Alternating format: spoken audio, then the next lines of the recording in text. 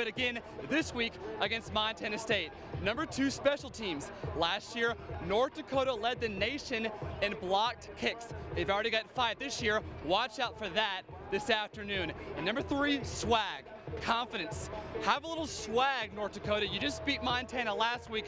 Who says you can't knock off both of the Montana schools in back-to-back weeks. Now for Montana State, running back Cody Kirk. He's been banged up the past couple weeks with a hamstring injury, but look for him to have a big, effective game to make it third and manageable for DeNarius McGhee and company. Number two, no turnovers. I probably sound like a broken record, but it's true. Montana State has committed 11 turnovers combined the past three games. And number three, defensive line. Brad Daly, Caleb Schreibeis, Zach Minner, they got to put pressure on the QB to make it a very long day for Braden Hanson. So those are your Billings Hotel and Convention Center keys to the game. North Dakota and Montana State next.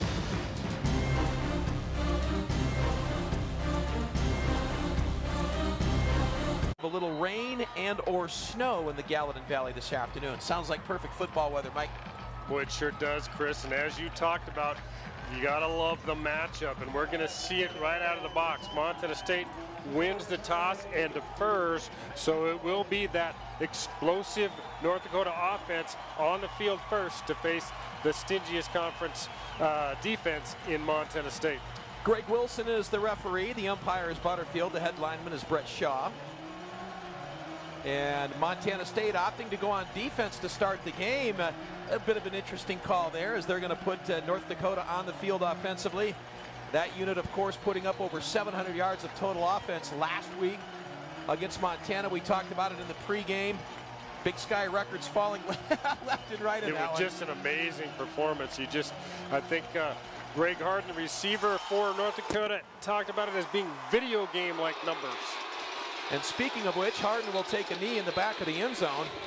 It'll come out to the 25-yard line, and North Dakota will have the football to start the game. And boy, North Dakota's schedule, Mike, we you and I were visiting about this earlier. I mean, it has been brutal. Yeah, uh, welcome to the Big Sky. They start off Sac State at Sac State. They come back with Cal Poly at Eastern Washington, host NAU, and then they host Montana. So they've had all the big conference leaders already. Braden Hanson uh, starts at quarterback. He's the guy that had the huge numbers last week. And that was his first game in which he started and finished that game. North Dakota operates out of the gun on first down. Little flip out there and let's take a look at the Western States insurance starting lineups this afternoon. The offensive line over there on the right side, Denai, Gilson, McGurran is the center, Anderson and Lynch is the left tackle. Miller, Hardin, Jackson, Magstaff, and Wisthoff are the backs and receivers for North Dakota as it is second and 10 from the 25. The defensive line, Daly and Minter to head up that front four for Montana State on second down. Just underway opening quarter. This time North Dakota stays on the ground. Some running room up over the 30-yard line. Nice run by Jake Miller. And the linebacking core for Montana State. And it's a good one. Moeakiola, Owens, and Moore. And in the backfield, it's Jones, Fuller, Bethley, and Deontay Flowers. Part of the unit that ranks number one in total defense in the Big Sky Conference. Gain of five on the play brings up third and five. Third and five. Montana State's defense has been the best in the league on third down, only allowing conversions on 27% uh, of the time, Chris. So this could be a great chance for them to set the tone early on. Three receivers split to the right. Got some running room. It's going to be hit right at the line of scrimmage. Depends on where they mark it. And Mike, judging by the spot of the ball, I think they're going to be about a foot short. They are going to be short. Let's see what they do. Nothing coming from the sidelines yet, but it does look like uh, they are going to, if we look at the replay here, uh, Braden Hanson is very comfortable in that pocket, but that time he didn't have anywhere to go, stepped up, and uh, coming in to make the tackle just short of third down yardage that time, so it'll force a three and out for North Dakota. Brett Cameron will do the punting for North Dakota standing at his 20-yard line. Shawn Johnson back to receive. Good kick. Drives Johnson all the way back inside the 15 where he fields it. Cuts back up inside, still on his feet, now hit and taken down at the 17-yard line. So good punt coverage by North Dakota, and the Montana State offense goes to work from their own 17. Yeah, that was a great punt. Johnson just put on his heels right from the get-go on that one. Had to go about about 10 yards just to field that. Uh, lucky that he did because that's one that probably would have stopped uh, short of the goal line. And as it is, Montana State will start on their own 18. DeNarius McGhee, you see the numbers on him. Another sensational season, 14 touchdowns, nearly 1,900 yards. First and 10 for the Bobcats. Their first possession of the afternoon. McGhee rolls left, looks, now fires out there and caught and dropped at the 25. Intended for Ellis. Incomplete pass brings up second and 10. Western State's insurance starting lineups offensive line. Sampson at center, Catalano and Foster on the right side, Gadecki and Weidenauer over on the left side. Backs and receivers. Cody Kirk is back and returning to the lineup along with Bleskin, Gilbert, Ellis, and Perkins as the tight end on second down. And the give is to Cody Kirk. Not much there. Brought down right at the 20 yard line. Gain of two on the play will bring up third and eight. The defense for North Dakota. Nelson, Benjamin, and Brenneman in the 3 4. Linebacking core is Jablonski, Otto, Peters, and Finley. And in the backfield for North Dakota, Mackey, Kennedy, Carr, and Brown. Third and eight now from the 20 yard line. McGhee operates out of the gun. Straight drop, looks across the middle, now brings it down, has some running room. McGhee hit at the 25, falls forward, and I think he's going to be just short of the first down. Yeah, real, real similar to what we saw uh, that time. Two passes. The, uh, the first pass could have been caught here, but as we go to it, you can see it just broke down. McGhee tries to hit, uh, do come up field and get that, but good job by those linebackers from North Dakota. Mercereau back to receive as Montana State goes three and out.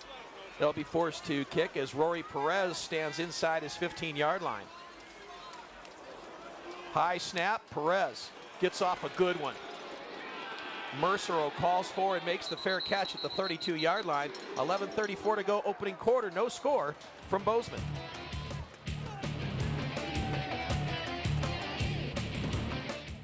Planning a stay in Billings? See what the newly renovated Billings Hotel and Second possession of the afternoon for North Dakota. First down from the 33-yard line. Hanson out of the gun. Empty backfield. Looks right. Now fires across the middle, and that's caught up near the 40-yard line as Blair Townsend, the wide receiver out of Coon Rapids, Minnesota, brings it in. Well, that time, as you said, they went with the uh, open backfield five wide able to get enough time to get that off for the short gain. Nice pickup on first down. Set up a short second and five. Bring that whole playbook into the option. Saw a lot of this last week against Montana. The short, short running route or passing routes. Pick up a five, second and five now from the 38. Hanson under center. Straight give up over the 40, and that is going to be a couple of yards short of the first down flag on the play. Mitch Sutton, the ball carrier. Yeah, it looked like that time uh, Zach Minner from Montana State got a little bit early jump on that uh, that left tackle slot, so I think they will give him the uh, the five yards, and it will be a first down.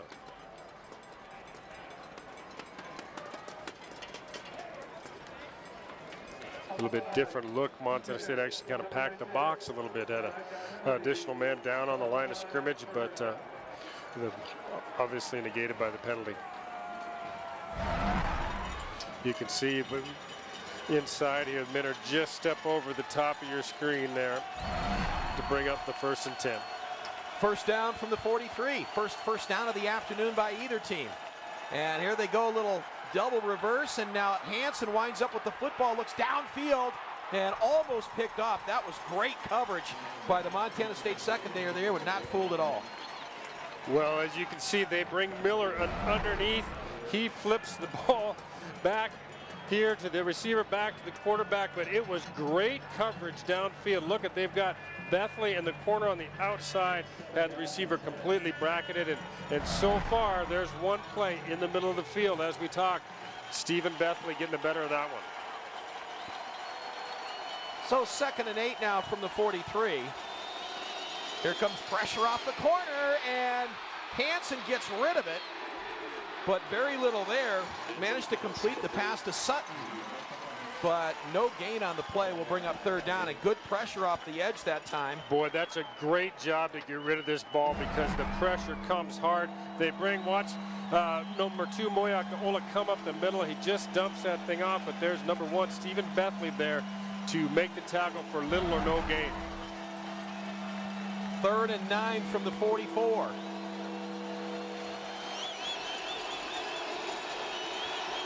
Sutton in the backfield, three receivers set to the right. Here's Hanson. Steps up in the pocket, now fires out there, has a man wide open, but simply overthrows Blair Townsend, who was all alone out there, but the incomplete pass will force Cameron to come on and kick it away. A good job that time of, of getting pressure again up front. Hanson not quite able to step into that throw, and I think that's why you saw it go a little bit high and wide, Chris. Johnson stands back at his 10-yard line as Cameron will kick it away. Bobcats trying to set up the return. Ball hits at the 20 and is downed inside the 20 at the 18-yard line. So field position so far in the favor of North Dakota, 9.43 in the first when we come back after these words from your local stations.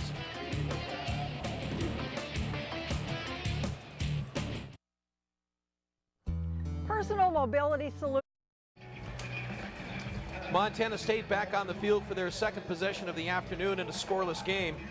Checking other scores around the big sky. Look at this. Southern Utah leading Eastern Washington 13-10 in the second. That Southern Utah team's pretty good. Northern Arizona safety over Northern Colorado. Montana leading over Idaho State. Portland State, UC Davis a bit later today. Here's McGhee out of the gun on first down. Looks left, throws right. Scott Flockadder at the 25 and up to the 30 to the 31 and a first down for Montana State. And Mike, this this rivalry, longtime fans know all about this because it was suspended, but they've met 28 times in 31 seasons. And there you see a nice catch by Flockadder out in the open. And yeah, it was a. It used to be a stable of this uh, at Montana State. Uh, ended in 1983 was the last time before today, but good to see it get back going. Montana State with a very slight edge in the overall series, 15 wins to 13.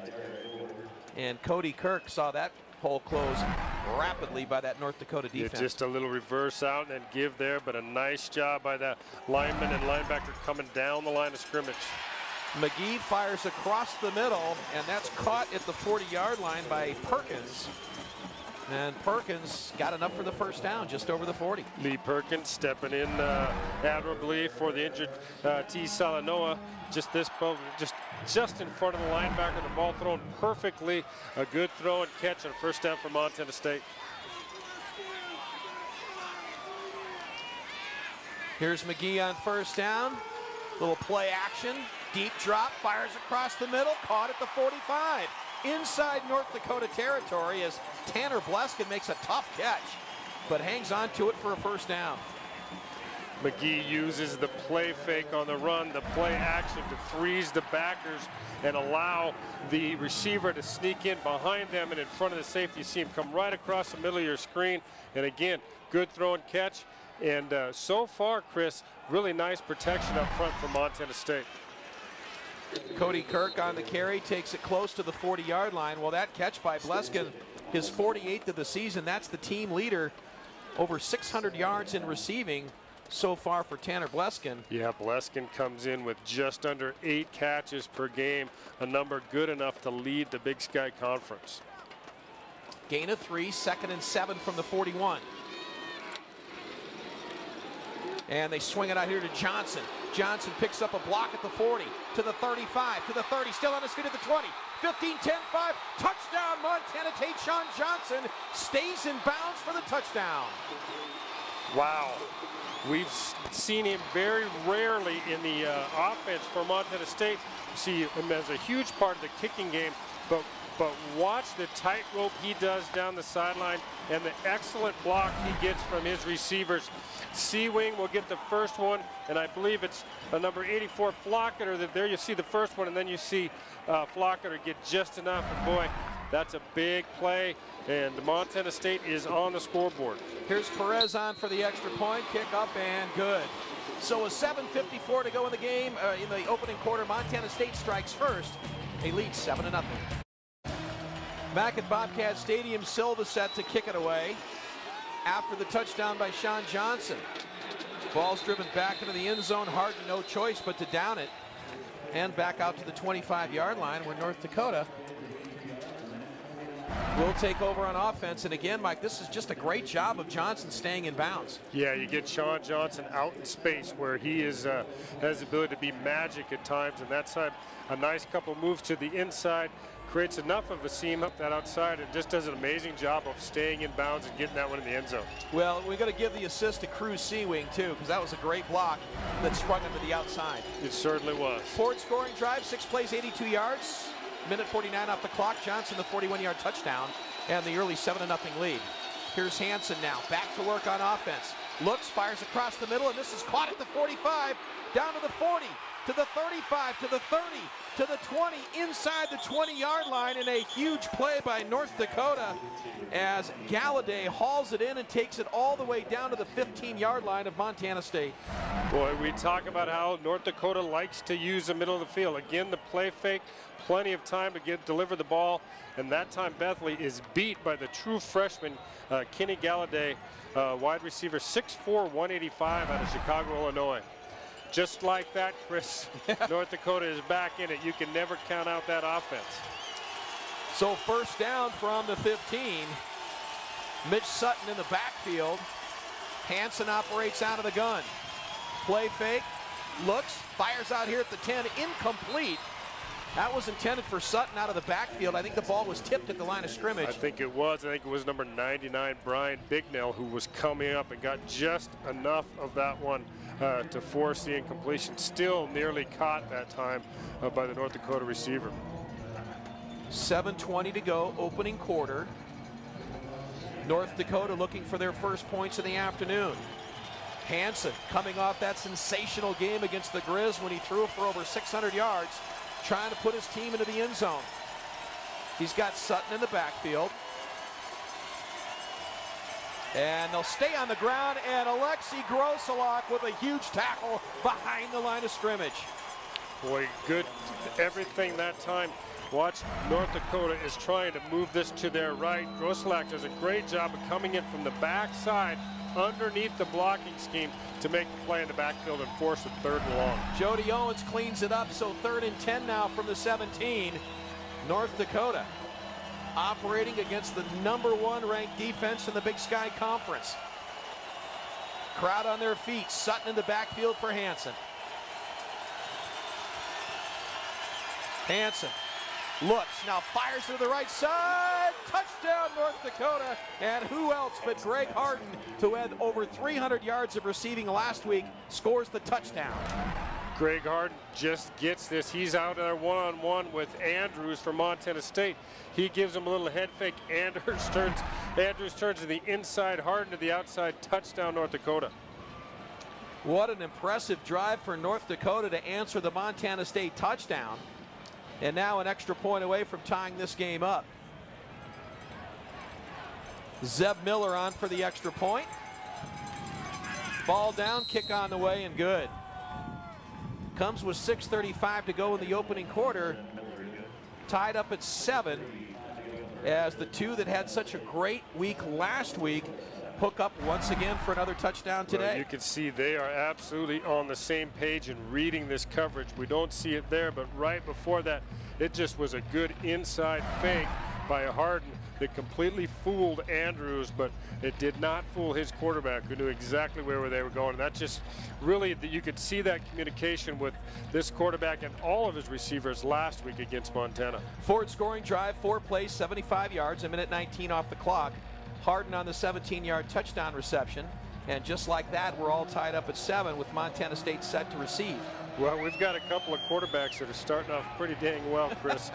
uh, Braden Hanson is five for eight, 83 yards. Darius McGhee, 40, four for five for 75, and I think they each had one dropped out there. So uh, two impressive signal callers so far this afternoon. Well, and interesting too that this quarterback situation with North Dakota, Hendrickson, who's not playing, has put up some huge numbers while Hanson was away with the broken leg. Yeah, Hanson gets hurt the first game of the year. Hendrickson stands in for him and performs very, very admirably. They come back, start splitting a little bit of time, but I think after Hanson got the hot hand last week, uh, he's where you got to go with today. Now Johnson wanted to bring it out, but mishandles it, so take a knee. Yeah, they had a nice wedge set up that time. If he could have fielded it cleanly, it looked like they would have been able to get something going. Let's go down on the field and join Jeff Eberly. Hey, Chris. Well, I was talking to head coach Chris Mussman before the game, and I asked him, how did Hanson get from North Carolina to North Dakota? And he said Hanson called him to ask if you come for a visit. He went to a visit in Grand Forks, and he signed right there on the spot, and he's been a great addition to this North Dakota football team, Chris. Well, he has, and uh, you know, as we mentioned, Hanson been injured for much of the season, and really now just getting his first couple of starts. So the Bobcats with the football in a 7-7 game. Trey Robinson in the backfield for the first time, along with Orenzo Davis. Davis with the call up over the 25 to the 30. Davis tries to shake a tackle, but finally brought down to the 32, but not before he picks up seven on the play, taken down by Will Lewis, the defensive back. Will Lewis came in to kind of save the day. That one looked like it was going to go big, Chris. That was one thing the Montana staff talked about this week is that they were amazed. They counted 20-some plus times where the last possible tackler for North Dakota made the play. Here's McGhee, fires up to the 40 to, to uh, who is that on the receiving end? That's Flockadder up near the 41, and it's first down. Young man out of Laurel, Montana. Very Played nice for the Locomotives.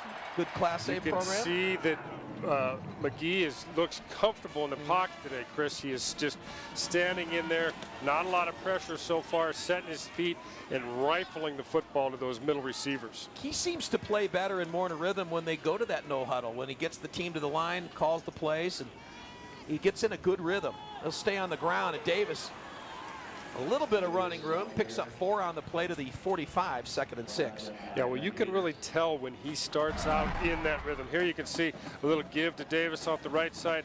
A nice hole there initially, but uh, that linebacking core led that time uh, by number 52.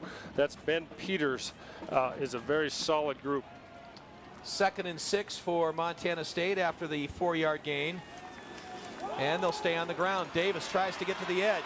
He's got it to midfield, puts a shoulder into it to the 48, close to a first down, might be a yard short. It's going to be, I think, just a little bit short here that time. Watch the block on the outside, Weidenauer first, and then Trey Robinson gets just enough of the outside to turn this thing up. Good pursuit, but as you said, very near first down yardage. It'll be a very short third and maybe a foot for Montana State. Ramil Harris on the stop, third and one from the 49. Here's McGhee. The give is to Cody Kirk. Right side. Keeps those feet moving. First down to the 45. One thing you know about Cody Kirk, Mike, he's not going to go down on the first guy that hits him. No, he is not. And he's going to go down if he usually finishes every run on his stomach. Did so again that time. Uh, had more than enough to pick up the first down for Montana State. Alex Hickle checks in at linebacker for North Dakota. Bobcats at the 45 and a first down. Here's McGhee out of the gun. Straight drop, looks left, fires out there, caught by Flockadder at the 38-yard line. So Flockadder is figured in the offense prominently here in this opening quarter. He really has. That time he is matched up on the outside with Ramil Harris and just does a little bit of stop route in front of that first down marker.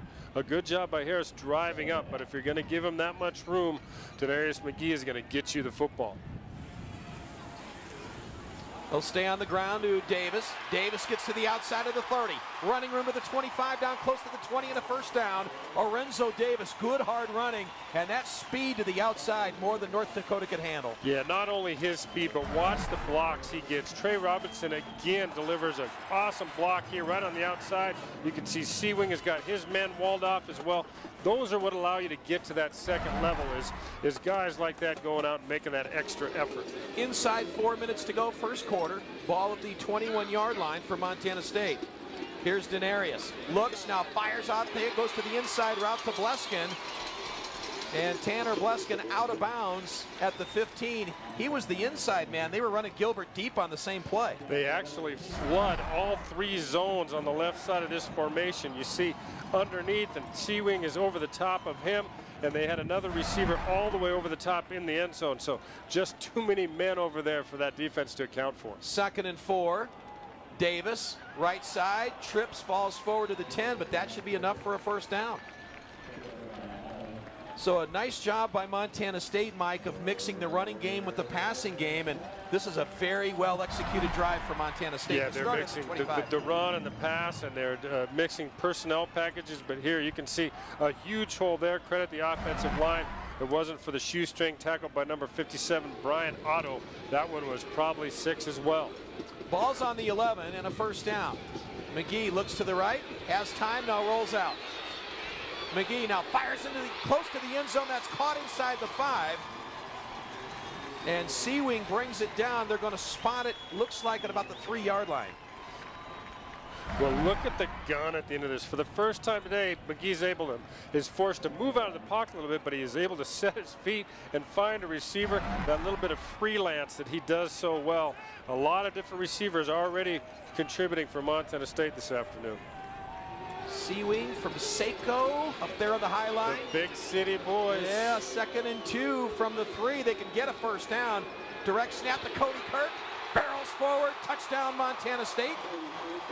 As the Cats regain Chris, the lead. look at this one's got to go to the offensive line because watch Kirk get behind Catalano and Gadecki on this thing. They pull across, and boy, he just sticks on his hip and rides those big boys into the end zone. Great job by Cody Kirk, but that offensive line is what made it happen. I'll tell you what, that was a good play by Perkins as well, the tight end. He got in the hole and pushed the pile forward. So Perez on for the extra point. And the kick is good. 2.30 to go, opening quarter. Montana State responds after the North Dakota touchdown, marching 75 yards for the score. Cody Kirk in well, from is, three yards we out. Take another look at Cody Kirk. This is his 23rd rushing touchdown as a Bobcat, a number that will move him into second place tied with another guy you don't really think of as a rusher, a guy named uh, Travis Lulay. One of the great ones here at Montana State, playing north of the border now. You know, who would have thought, Mike, honestly, when Travis Lulay finished his career, as we take a look at the Ford scoring drive, 11 plays, 75 yards, four minutes off the clock, who would have thought when Travis Lulay left, how many people thought some of his, his records are never going to get touched? He put up such big numbers, and then you see this DeNarius McGhee, who's a junior, and he's very rapidly closing in on a whole bunch of those. He is, and and, it, and they do look untouchable at first because so rarely, particularly anymore, do you get a kid that comes in. Those weren't records that were going to go down in three years. You had to be a four-year player. Uh, McGhee was able to do that, starting and putting up just huge numbers, over 3,000 yards throwing the football as a, as a redshirt freshman. Back to receive is Hardin along with Ramon Bridges as Silva will kick it away. Plenty of scoring in this one so far, just as we thought. Montana State with the lead early on here the first quarter. Oh, Mother Nature took care of that one. Try it again. Those winds, it's, I don't know if that was pure wind there, but the, the winds are picking up. We said a little bit different weather than Montana State has faced this year, a little cooler, and now the wind as this game goes along is picking up considerably. So Silva will try it again, gets a foot into it. Hardin's going to have a chance to return this one at the five, up over the 15, and hit at the 15-yard line. Alexi Grosselak with a great open field tackle to knock Harris down at the 15. Well, this one just on the goal line. As you said, Chris, Hardin brings it out, hesitates there, but Grosselak was on a dead sprint for him and just did a great job of making the open field tackle on the run. Jeff, what you got? Chris, well, I asked center Sean Sampson just how excited he was that running back Cody Kirk would be coming back. And Sampson said he was very excited. He's a key facet of this offense.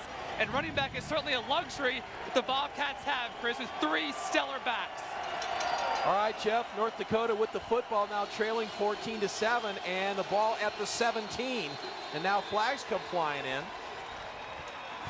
That's going to be a false, start. Yep. Offense number 67, five-yard penalty, still first down. There you get that Sonny Holland end zone rocking and rolling. I was going to say this is not the area on the field where you want to back yourself up into that end zone because uh, they are a noisy bunch down there and they can make it very difficult to operate.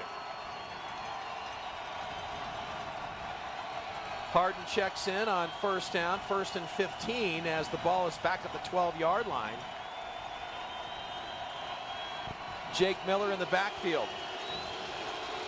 And Hanson. Now pressure, fires across the middle. Golladay with the catch, up over the 15 to the 17. To get back the penalty yardage, be second and 10.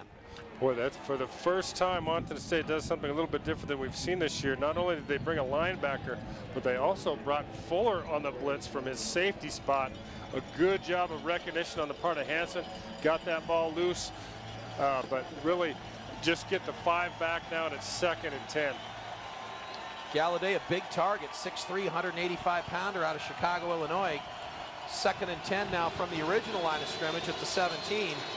Here's Hanson, fires out here on the deep out and almost picked off.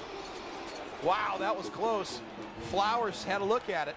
Flowers had a look at it.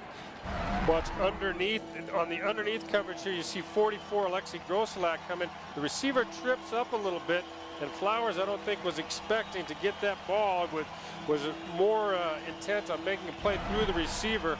Uh, a, a break on the part of North Dakota that time to, to still have this football.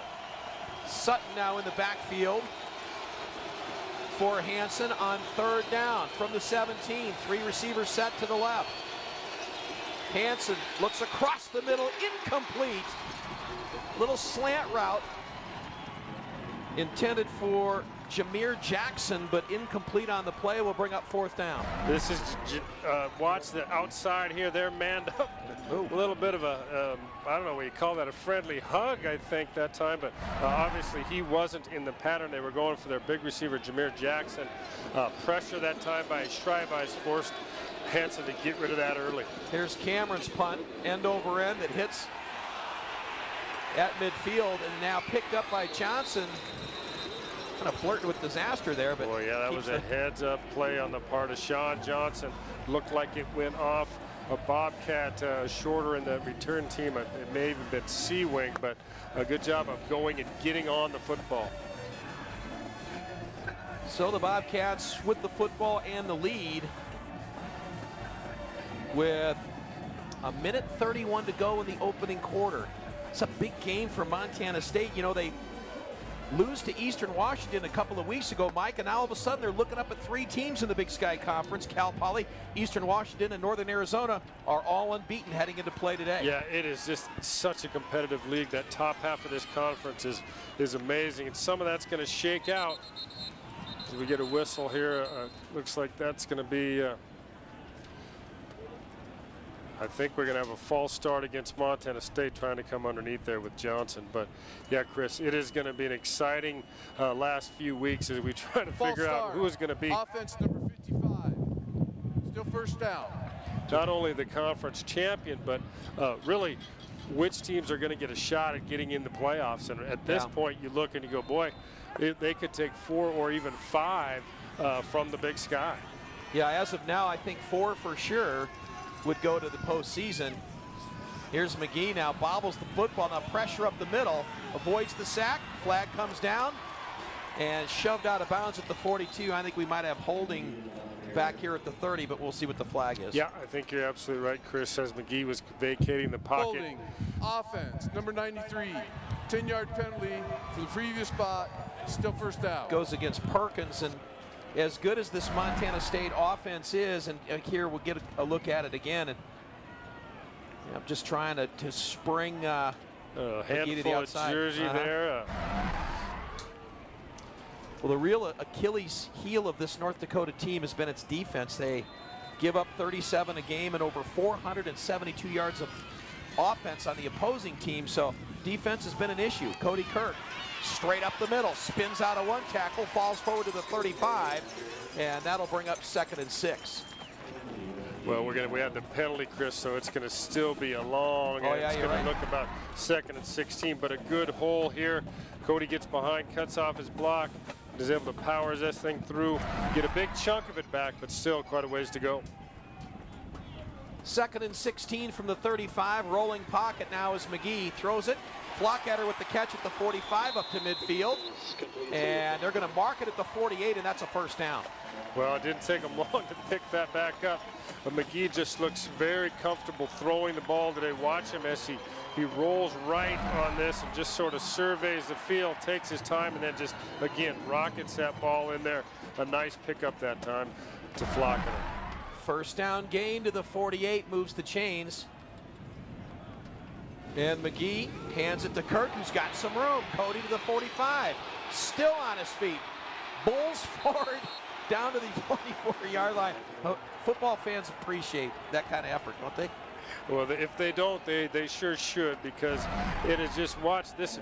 They end up cutting this play in underneath where they brought their blitzing linebacker. And Cody looked like he was down. Then he looked like he might take it to the house. But a nice job that time by 25. That's five yards. Now Ellis climbing the ladder and makes a great catch at the 38. That ball was high, and Ellis got up there and snagged it. The junior out of Mansfield, Texas. That's a first down. Yeah, right at the marker again. A good job being heads up. Not only a great play, but uh, field awareness, knowing where he needed to be to get that first down. And that will be the final play of the first quarter. So one quarter of football is in the books here in Bozeman. Montana State on top of North Dakota, 14 to 7.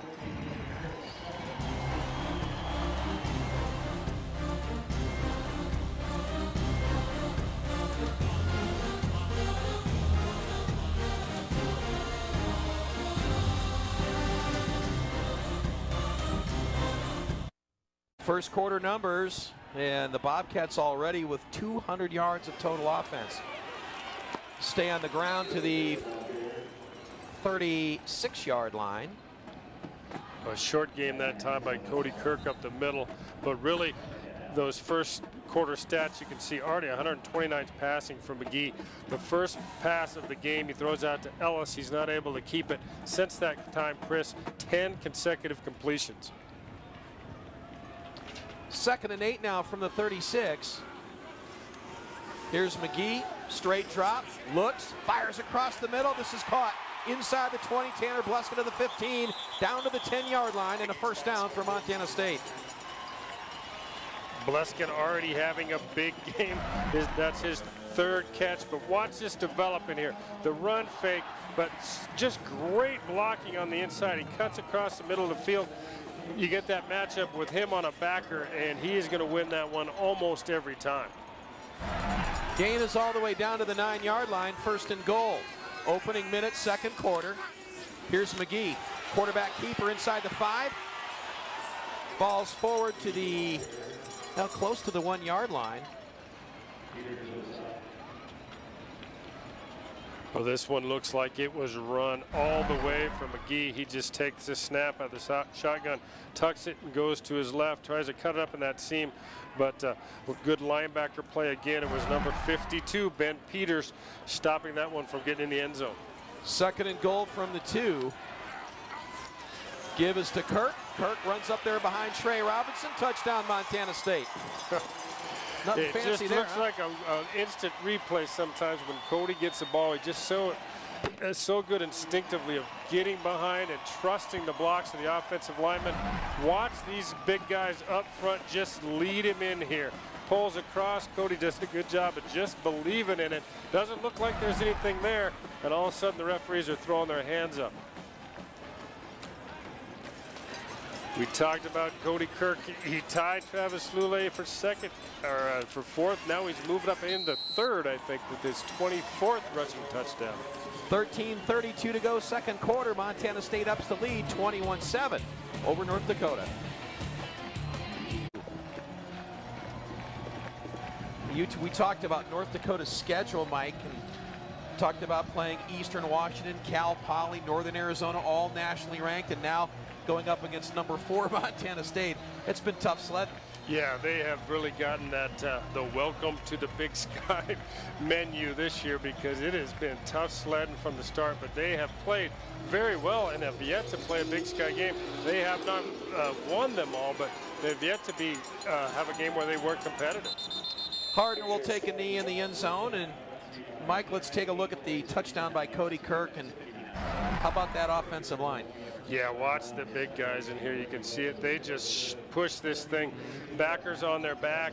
When you see all your your offensive linemen laying on their chest with the running back on top of them, that's how that play's supposed to end. it supposed to look like, huh? A lot of backs might be a little bit different. They may step to the side, but Cody is, is more than happy to follow those big guys in there and uh, let them lead the way. Numbers on Hanson not nearly as productive as last week, just 88 yards so far as he flips it out here to Golladay who makes the catch and gets up over the 25 to the 28. It'll be a pickup of three, so second and seven. And, and Mike, as you know, and Bobcat fans know, this is a very young offensive line for Montana State that's really matured as the season's gone on. Yeah, they're getting better and better, and I think that's what you expect when you've got uh, a coach like Coach McAdoo. And people thought they're going to be the weak link. I don't think that that's ever going to be the case under his tutelage, but they are young, and it's going to take some time, but they are uh, they're uh, growing by leaps and bounds. Pressure now for Hanson's got a man underneath, caught at the 30, but a great open field tackle by Noah Moeakiola because that could have gone for first down yardage as Jameer Jackson makes the catch, but Yeah, Jameer Jackson just comes underneath the formation. That's a tough play for linebackers, but as you said, that is a great open field tackle. Those were kind of the, some of the plays that we saw uh, big success with, as you mentioned earlier, short throws last week against Montana, uh, but they weren't tackling as well as you saw there, and those receivers were able to turn that thing up. third and four, another big third down, pressure up the middle, and Hanson goes down. Taken down, and that was Jody Owens, the linebacker, straight up the middle for the loss. Boy, he looked to be just unaccounted for. Here's how you see it if you're the quarterback. He is completely unaccounted for. Comes on the blitz that time, and uh, Hanson did not have a chance. So the loss is all the way back to the 26-yard line. Cameron to punt it away. Johnson stands at his 35. Good kick as Johnson fields it inside the 35. Slips and falls. Loses the football for a moment, but Montana State takes over at the 30. He can make things He does yeah. make it exciting at every time. That time just gets a little bit tripped up, loses the ball, gets back on it. There's never a, a punt return with this Montana State system that is hasn't been at least exciting. Think that's exciting for Coach Ash? I, I think it's uh, he would use a different adjective. One person's excitement is another man's angst. Cats with the football and a two touchdown lead. Just over 12 minutes to go in the second quarter. So far, this Montana State offense has been productive. Here's McGhee. Rolls, rolls, now fires, has the man at the 30. And that's Johnson. Tried to dance away, but no gain on the play. Maybe lost one. And second down. Credit the coverage of that time by North Dakota. McGhee had all day to throw that ball, just couldn't find anybody to throw it to. Uh, ended up checking down to Johnson uh, a safety valve, and uh, as you said, Chris, actually lost a little bit on the play. Second and 11, they'll stay on the ground. And this is Cody Kirk to the 35. And a gain of five. Watch Kirk here again. Just a good push by the O-line and just, you know, a shoestring tackle that time. They are very close to breaking one of those inside runs, and I fully expect that to happen today because they've just been inches away on several occasions. Haven't seen uh, Trey Robinson involved yet in the offense. You may see him here at Well, third he five. is involved. He, we haven't seen him with the football, Right. but boy, he is definitely involved. And there you go, Yeah, right on on cue. cue, Chris. So Robinson makes the catch. Unfortunately, no gain on the play. We'll bring up fourth down. I got to maybe do a little bit more film study. I think you were uh, out in front of me that time, Chris. Cats will punt it away after three consecutive touchdowns. Mercero stands inside his 25. And Rory Perez will kick it away. This is the first season that North Dakota would be bowl or playoff eligible in the FCS playoffs. Last year they were co-champions of the Great West Conference at 8 and 3, but of course couldn't compete in the postseason. Mercero calls for the fair catch, makes it at the 30-yard line. North Dakota with the football when we come back after these words from your local stations. You're watching Big Sky Game Day.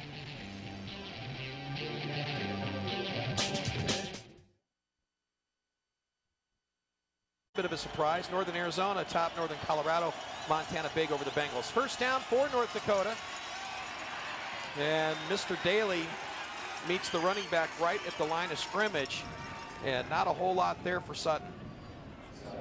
Yeah, good job by the front. Good push that time inside by Big Nell on the other side. Took two blockers upside. Freed Daly up to come in and make the stop for just a short two-yard gain. See the numbers on Sutton this season in what's predominantly a passing attack, but still close to 400 yards so far. Here's Hanson. Fires out here, got one-on-one -on -one coverage, but incomplete. Well, they got what they wanted, is they got single coverage on Greg Hardin. Yeah, they did. That's a great matchup if you're the North Dakota yeah, a linebacker on coaching staff because he is paired up, manned up with uh, Cole Moore, the backer. But here's the pressure that keeps him on his back foot. Uh, but again, the coverage was there. A good matchup, but a good job that time by the linebacker from Montana State running with it was obviously an outstanding receiver, yeah. Greg Hart. Zach Minner applied the pressure. Numbers on Hanson today, 8 for 14, 95 yards and a touchdown. Third and 8 from the 33. Hanson getting chased, gets over the 40 and a first down close to the 45. Not the fastest guy on the field, but he had enough uh, running room to pick up the first down.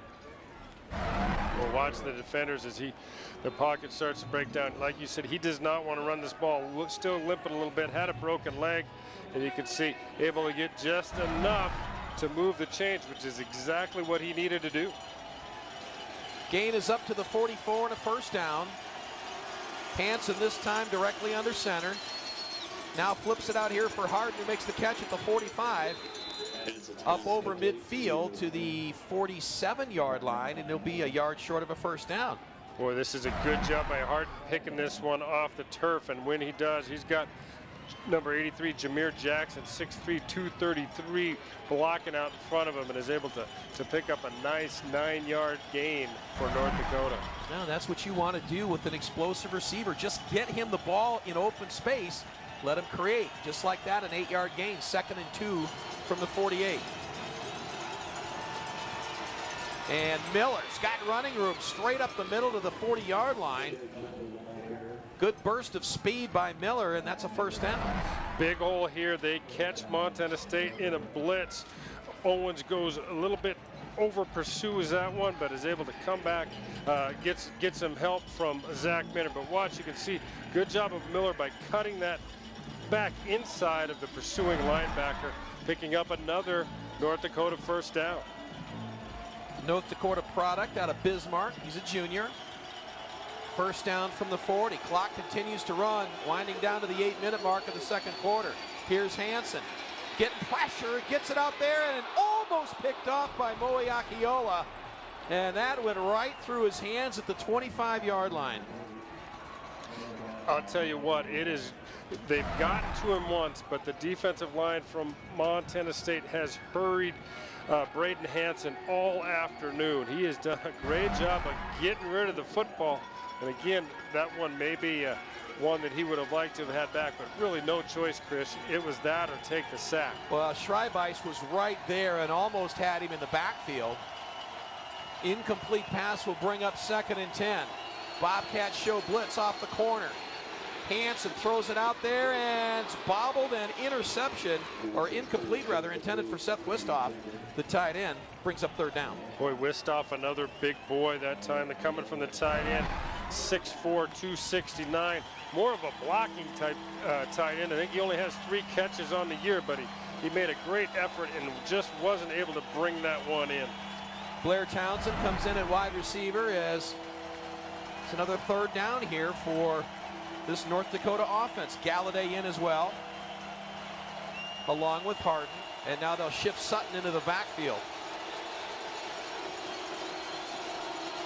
Hanson out of the gun pressure, steps up in the pocket, and now goes down at the 45-yard line. And a sack by the Montana State defense. Well, he is going to get pressure from everybody. Big Bignell does an exchange. You see Minner come up the middle, tries to get it out that side. Schreibeis is there to clean it up. That is just a great team front package there. Bringing the blitz uh, on the outside and having a little twist stunt inside. Been close to getting them all day, and that time they do. Cameron's kick straight up in the air, and this is not a good one. It's going to go out of bounds. Let's see where they mark it. And Montana State has the football when we return 7.19 to go in the second in a 21-7 game.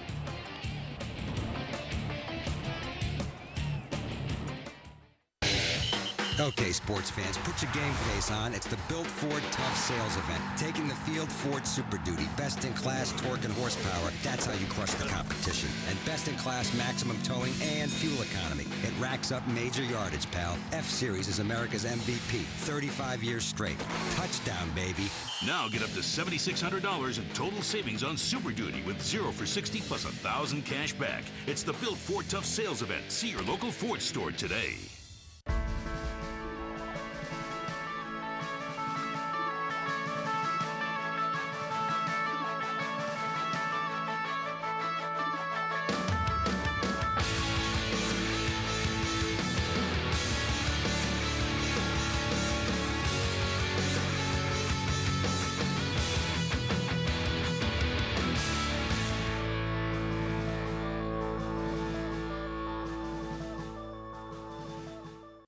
Reduce your energy use and seize the savings with Northwestern Energy's Efficiency Plus programs, giving you hundreds of ways to save with rebates and incentives in your home and business.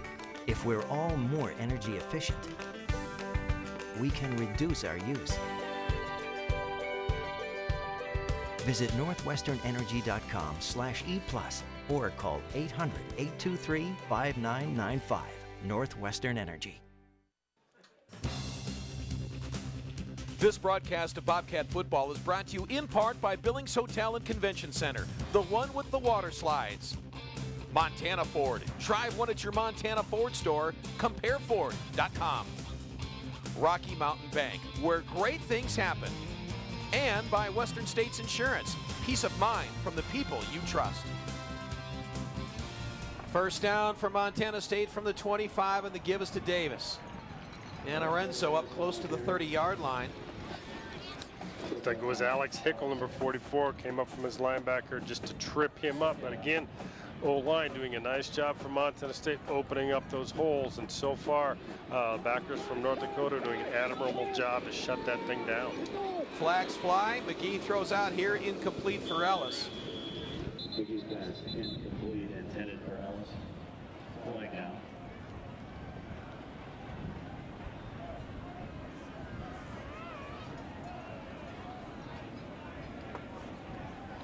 Going to take a while to work this one out, I think, but uh, it, the initial indication was a false start against Montana State, but uh, looks like there may have been a second penalty.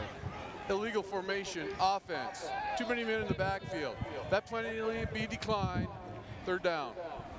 So the penalty decline and brings up third and six.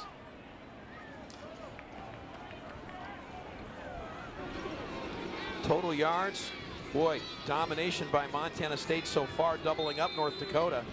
246 to 122. Well, and then of that 122, 68 of it came on just the one passing play. So really, they have been pretty quiet on the offensive side of the football, especially considering that they came in off of uh, a huge game last week against Montana and with the overall conference lead in total offense. Nice pass and catch by McGhee to Tanner Bleskin, and that's a first down to the 42-yard line.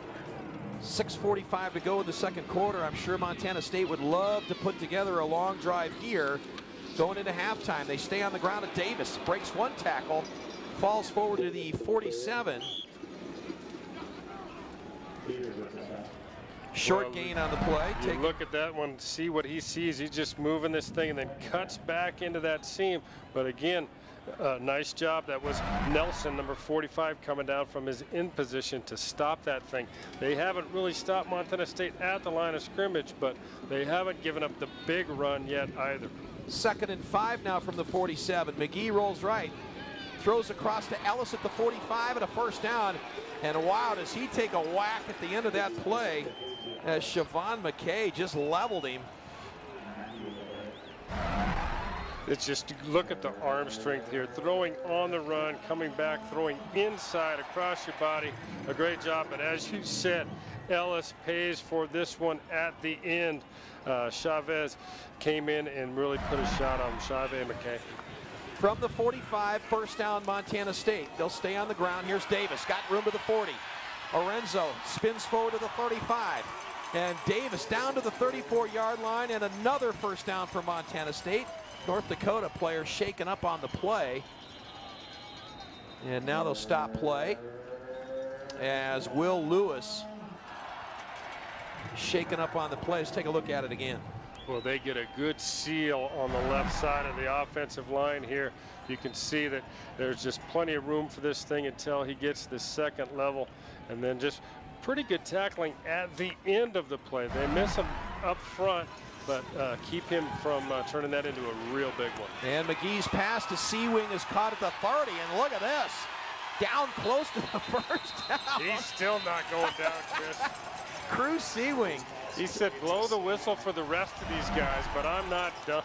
This is great effort on number 10's part. He catches this in traffic to begin with and then just refuses to go down, and he was very, very near the first down. Those Highline kids are tough. Absolutely. First down, or make it second and one. A gain of nine on the play. Oh, no one to hand it to, so McGhee, he gets hit at the 25, and he is going to be short of the first down. So a broken play. McGhee turned to hand it off, and there was no one there. Yeah, it looks like uh, Lorenzo Davis is somebody went the wrong way. They, uh, Davis is pointing, saying that he thought he wasn't. Obviously, he he was in the neighborhood, but he wasn't looking to get the ball there at all. So a little bit of confusion is going to bring up a big third down as Montana State tries to keep this drive moving. Third and one. They need to get to the 24. This time they get it to Kirk, who's hit behind the backfield. But Cody blasts forward to the 23, and that's a first down. Boy, Montana Yep. State loaded up on that left side. They had a tight end package with a, another tight end over the top and a wing. And uh, Cody just does a nice job of fishing that one through there. But boy, a really good job up front that time uh, by North Dakota. Just pretty tough when the, your yardage is that short. So that'll move the chains as we're now under four minutes to go in this opening half of play. Montana State driving here is McGhee. Straight drop. Now pulls it down. Still looking. Will keep the football and slides forward to the 17, 18 yard line. Makes something out of nothing. Four, maybe five on the play. Uh, interesting that time. North Dakota comes with a three-man front, and they stack both their backers on the end of the line of scrimmage. But that time, they peel them both out. McGhee very patiently waited for someone to come up and break coverage, but a disciplined job by that group of linebackers from North Dakota. Uh, he's forced to run it, picks up the, the, the four or five yard. Well, he had a good look at the field, didn't he? Went through a progression of receivers, Yeah, really, there. really did. Just nobody covered. Yeah. And, you know, he doesn't want to take off with that thing, but uh, that time, uh, no other choice. Here's Davis, straight ahead, running the first down and more. Davis, five, touchdown, Montana State. Wow, what a great run by Orenzo Davis, breaking tackles at the line of scrimmage, and he's in for the score. Well, we've been talking, or I've been talking about the fact that they have just been, you know, inches away on breaking one of those runs for a touchdown. That time, another good job. That three-man front creates a lot of large gaps up front, gives these guys some room. He makes a good cut back there, and then just sprints this thing into the end zone. So Davis ups the lead to 27-7, pending the extra point. Perez on, and it's good. 28 to 7 our score with 3.04 to go in the second quarter.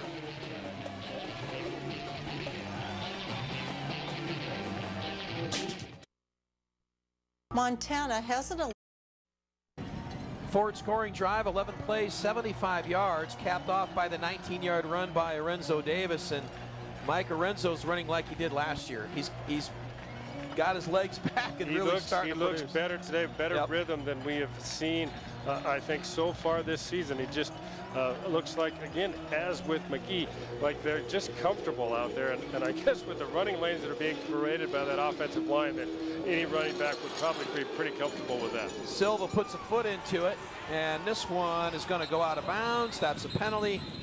North Dakota will get good field position. Still three minutes to go in the second quarter and all three timeouts remaining. Well, you can see now the wind becoming a factor, kick into that end zone. But as we take another look at the touchdown here after we get Kickoff the out of bounds. Kicking team chose to take the penalty. 35. First down.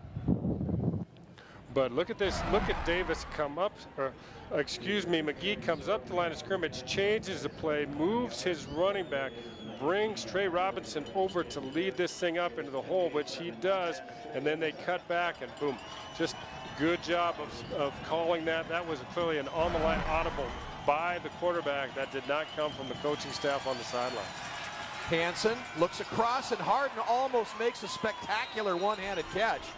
Falls incomplete. Moeakiola with a chance at the interception and incomplete pass will bring up second down. Well, that ball was thrown Yeah. behind him, but uh, you cannot blame Hanson. I'll tell you what, that young man is being hit now every single time he throws the ball. He isn't hard to tell from TV, but that wind is really whipping around down there now. Yeah, Pretty the stiff wind breeze. at the back of North Dakota at this point is blowing a, a much more uh, than it was at the beginning of this ball game.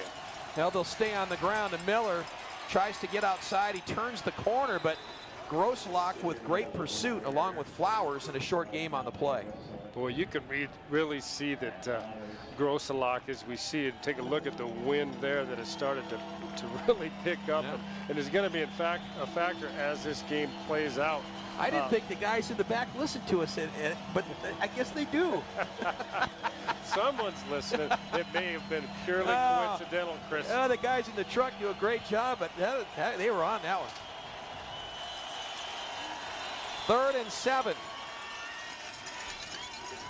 And you're right, Hanson's taking a beating here in this second quarter, and that's Boy, been part he of his problem. Has, and it's uh, you can see, you know, obviously when you saw him take off and run that time, he does not look like he's fully healed. If you look at that right leg, it looks heavily wrapped. But boy, uh, there is a whole bunch of courage inside that young man because he is taking a beating physically. Third down. Hanson's going to get hit right as he throws it. And again, he takes a hard shot from Schreibeis. Oh, just And, oh, man. You, you saw this quarterback, and I hate to keep going back to the Montana game, but it was a game where we saw a quarterback look so good and just completely in rhythm. But today, this is what he's been facing on almost every snap. Watch as, the, as this ball gets to him, he just takes a beating again from the backside. Johnson driven all the way back, and he'll let this one bounce at the 10. That's going to go down close to the five-yard line. Let's take a look at the, we talked about Hanson and all the shots he's taken today, and he's been pretty fragile anyway, but this is just a look at what he's been dealing with today. Owens comes blasting up the middle to bring him down. Well, almost everybody on that front for Montana State has had a shot at this guy. Like I say, they just the two sacks, I believe, but I'm not sure how many times he has been hit and knocked to the ground. Montana State with 2.05 to go in the second quarter has the football deep in their own end. Well, it'll be interesting to see what, how aggressive they are. As you said, we're moving into the wind, uh, but to t- uh, take this thing 95, they got the two minutes and the three timeouts, so uh, definitely enough time to get it done, but they're going to have to have some big plays. Yeah, they get a little working room there. And Cody Kirk will get it out up over the five to pick up a couple on the play. And we'll see if North, yeah, North Dakota is going to use their timeouts here. They want to get the football back. Timeout. University of North Dakota. That's their first. They still have two remaining. If they can force the Cats into a three and out, they should get decent field position with Montana State kicking into the wind Yeah, to most, try to cut into most this definitely lead. because that, and uh, if if not great, uh, a, a great chance to return that ball on a short kick as well. But and then they've got obviously a chance to try and get something going.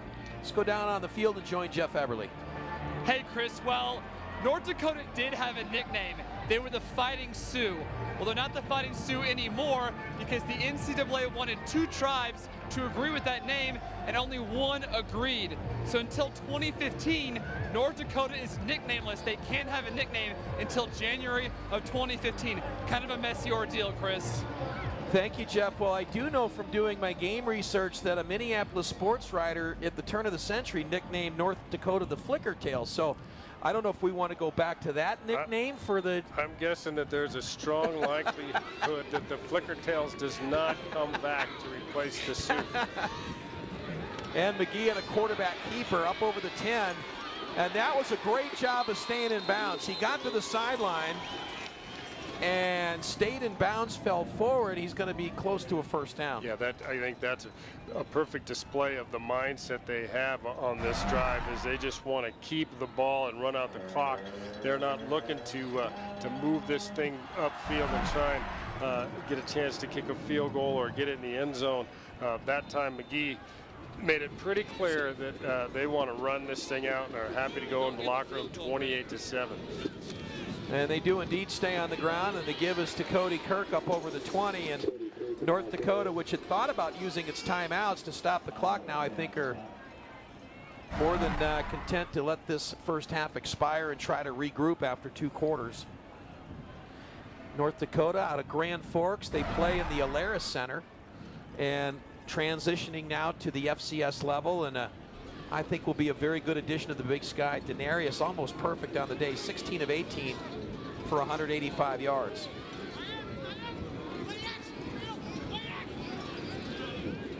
We're kind of working that play clock down yep. here. Expect to see another run. And Kirk up over the 25 to the 30. Stays in bounds, close to the 35. That's another first down for Montana State.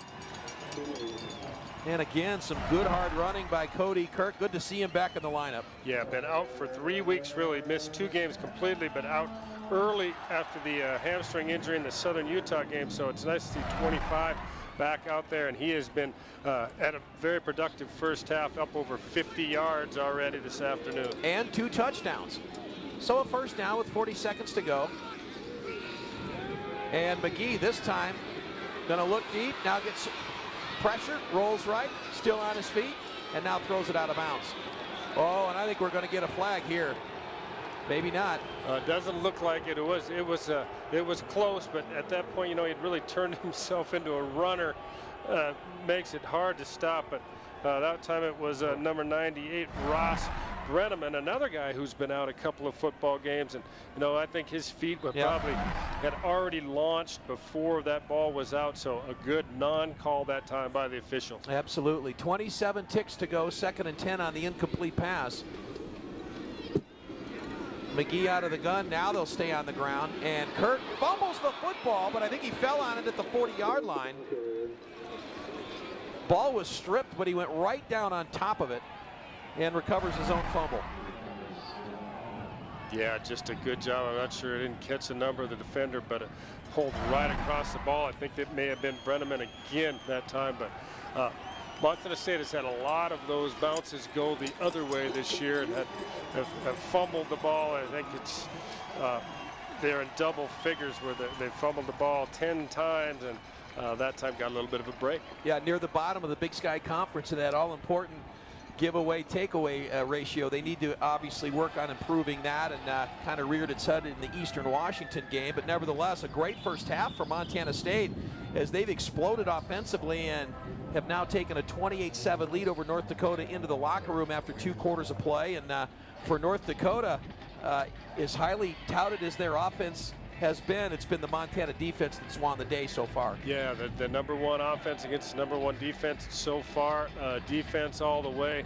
Really what they, North Dakota has done defensively is pretty much what they've done all year. They've given up a ton of yards and a lot of points, so they've always relied on that offensive group to keep them in the game, but so far today, just not happening. So all goes well for Montana State after the bye week last week as they continue to chase the top teams in the Big Sky Conference. It's a big day in the Big Sky as we head into the back half of the season with Cal Poly, Eastern Washington, and Northern Arizona all unbeaten heading into play on Saturday. And the Cats with just that one loss. Let's go downstairs to Jeff Everly. Coach, Montana State has been very effective running the football. How do you contain that group in the second half? Well, that's a million dollar question right now. We got to make sure that uh, we can rally to the ball, and uh, really, that's we're not doing that right now. And big thing is offensively, we got to we got to be more productive. Their defense is pretty good, but you know we haven't been able to sustain any drives after the one the, the one score that we got. Uh, so we have to be better offensively, keep our defense off the field. They've been out there a long time. Thanks for your time, Coach. no problem. Coming up is the Wired X halftime report, and stay tuned for this week's Proud to be a Bobcat presented by Montana State University.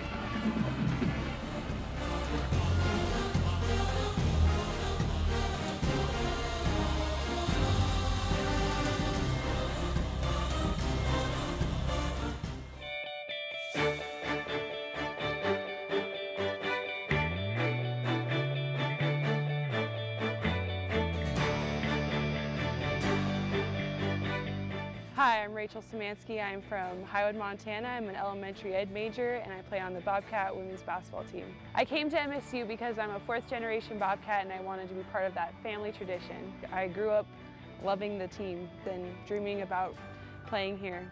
My professors really prepare me to be a great teacher. They care about my successes on and off the basketball court. I want to become a teacher because I want to be a positive role model and make a difference in a child's life. I would love to teach and coach in a small town in Montana.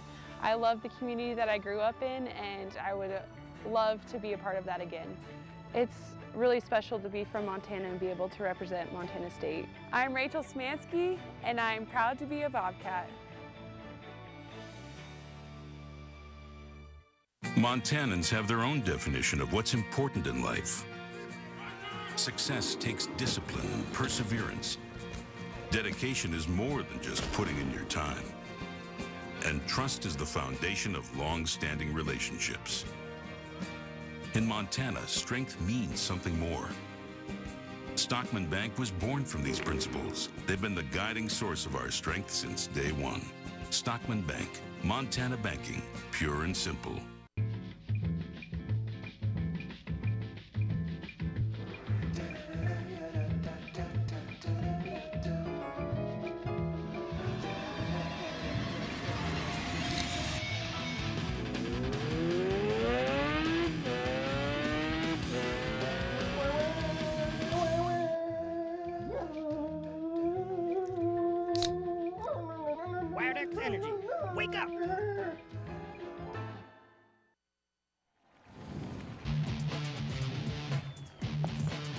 And welcome to the Wired X halftime report in Bozeman, where Montana State has built a commanding 28-7 lead over North Dakota.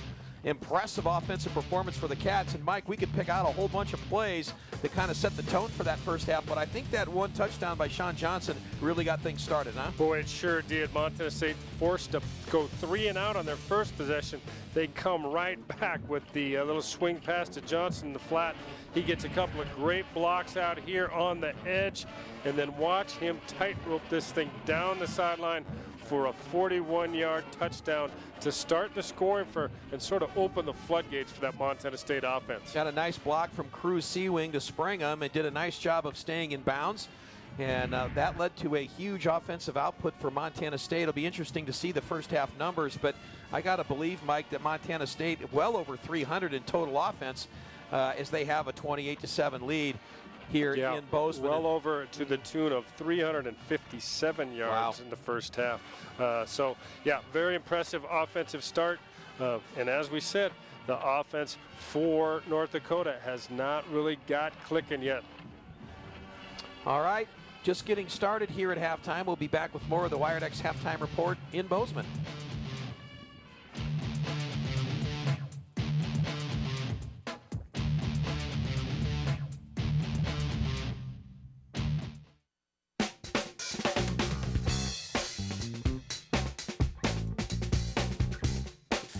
If you're planning a holiday brunch or Sunday brunch, you're going to love this recipe for strata. It starts by uh, reconstituting a half a cup of sun-dried tomatoes in hot water. And then I'm taking 10 or 11 slices of Texas toast-sized bread, real thick white bread. And you can cut the crusts off if you want, but I cut it into one-inch cubes. Now saute 12 ounces of Italian sausage, hot or mild, your choice. and break up the meat with the back of a spoon. And then when it's all cooked, go ahead and drain it on paper towels. First, let's make a custard with eight large eggs and three and a half cups of milk.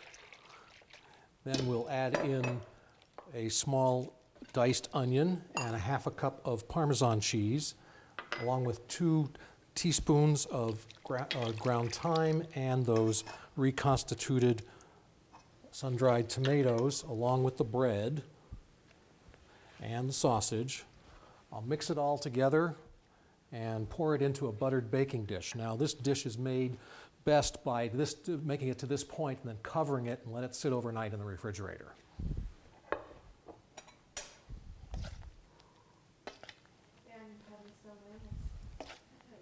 Now bake in a 375 oven for about 40 to 45 minutes until it's puffed and golden. Then top with some uh, cheddar jack cheese and some crumbled goat cheese. Then put it back in the oven for about another five minutes just until the cheese melts.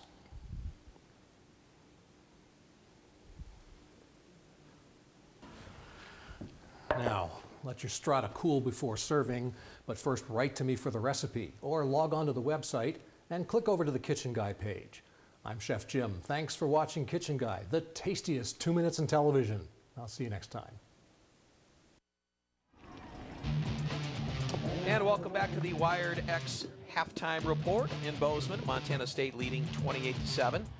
As it's been a uh, good, productive first half of football for Montana State. Let's go down on the field and join Jeff Eberly.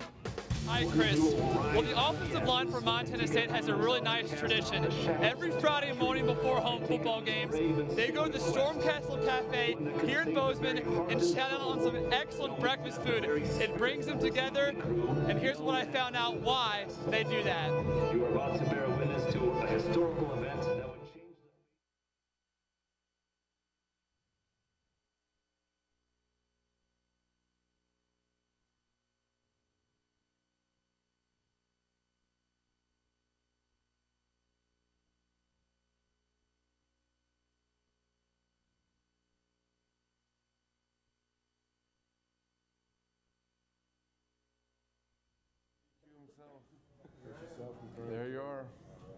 tradition started 10 years ago eating lunch at a Chinese buffet. But an early morning breakfast at Stormcastle Cafe is easier on everyone's schedule. Offensive line coach Jason McEndoo meets with his O linemen every Friday morning before home football games. Who's their starting linebackers? And 7 a.m. is not early for the big guys. Oh no, definitely not. I mean, we get up at six on Tuesdays. I mean, this is this is late for us, so it's it's not that bad. Bonding over breakfast doesn't just nourish; it produces good results on the field. If you see what he did this year, I mean, we have like redshirt freshman, tight end. And, I mean, we have a really good O line. Um, I mean, he brings he's a great family man, so he brings his family in here.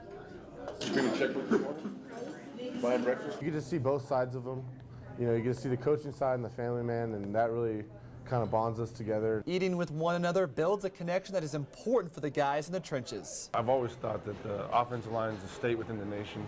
You know, you, we're within the offense, we're, we're within the team, obviously, but then there's there's just a special chemistry and just a, a special kind of bond between this group, like you can see. Um, and, you, and you have to foster that. You have to build that. I think the O line position is really based off communicating with each other. As other positions, you, it's kind of like a solo team there. And uh, I mean, we all work together, but the O line, you got to communicate. You got to be on the same page. And if you're good friends with each other on and off the field, I mean, makes it easy on the field when you're when you're off the field, just hanging out and chilling with the guy. The early morning shout time goes beyond prepping for any game. I think it's more about the game of life, not just about football. You know, it's it is building that relationship because these these will be their best friends the rest of their life.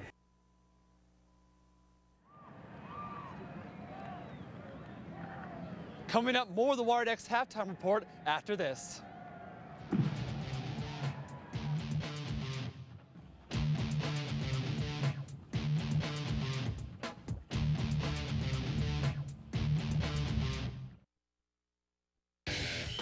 Okay. About it. That was impressive as we take a look at this week's FCS poll. Eastern Washington continues to be the number one ranked team in the nation. That's followed by Georgia Southern. The Bison from North Dakota State are number three. And there's the Cats sitting at number four. And then, of course, other teams in the Big Sky Conference that are in are Northern Arizona sitting at number 13, Cal Poly at number 11. So four teams from the Big Sky Conference all ranked in this week's top 15. And of course, all four of those teams really looking for a spot in the postseason playoffs. Montana State's remaining schedule will be at Sacramento State next week, home against Portland State, and uh, then, of course, over in Missoula to wrap things up against the Grizz on November 17th. Yeah, no gimmies left there by any means for Montana State. North Dakota, which had such a brutal schedule to start the season, they now will take on, as they come off of this one, Southern Utah next week, and then we'll be at Northern Colorado. So North Dakota, four up and four down overall in the season.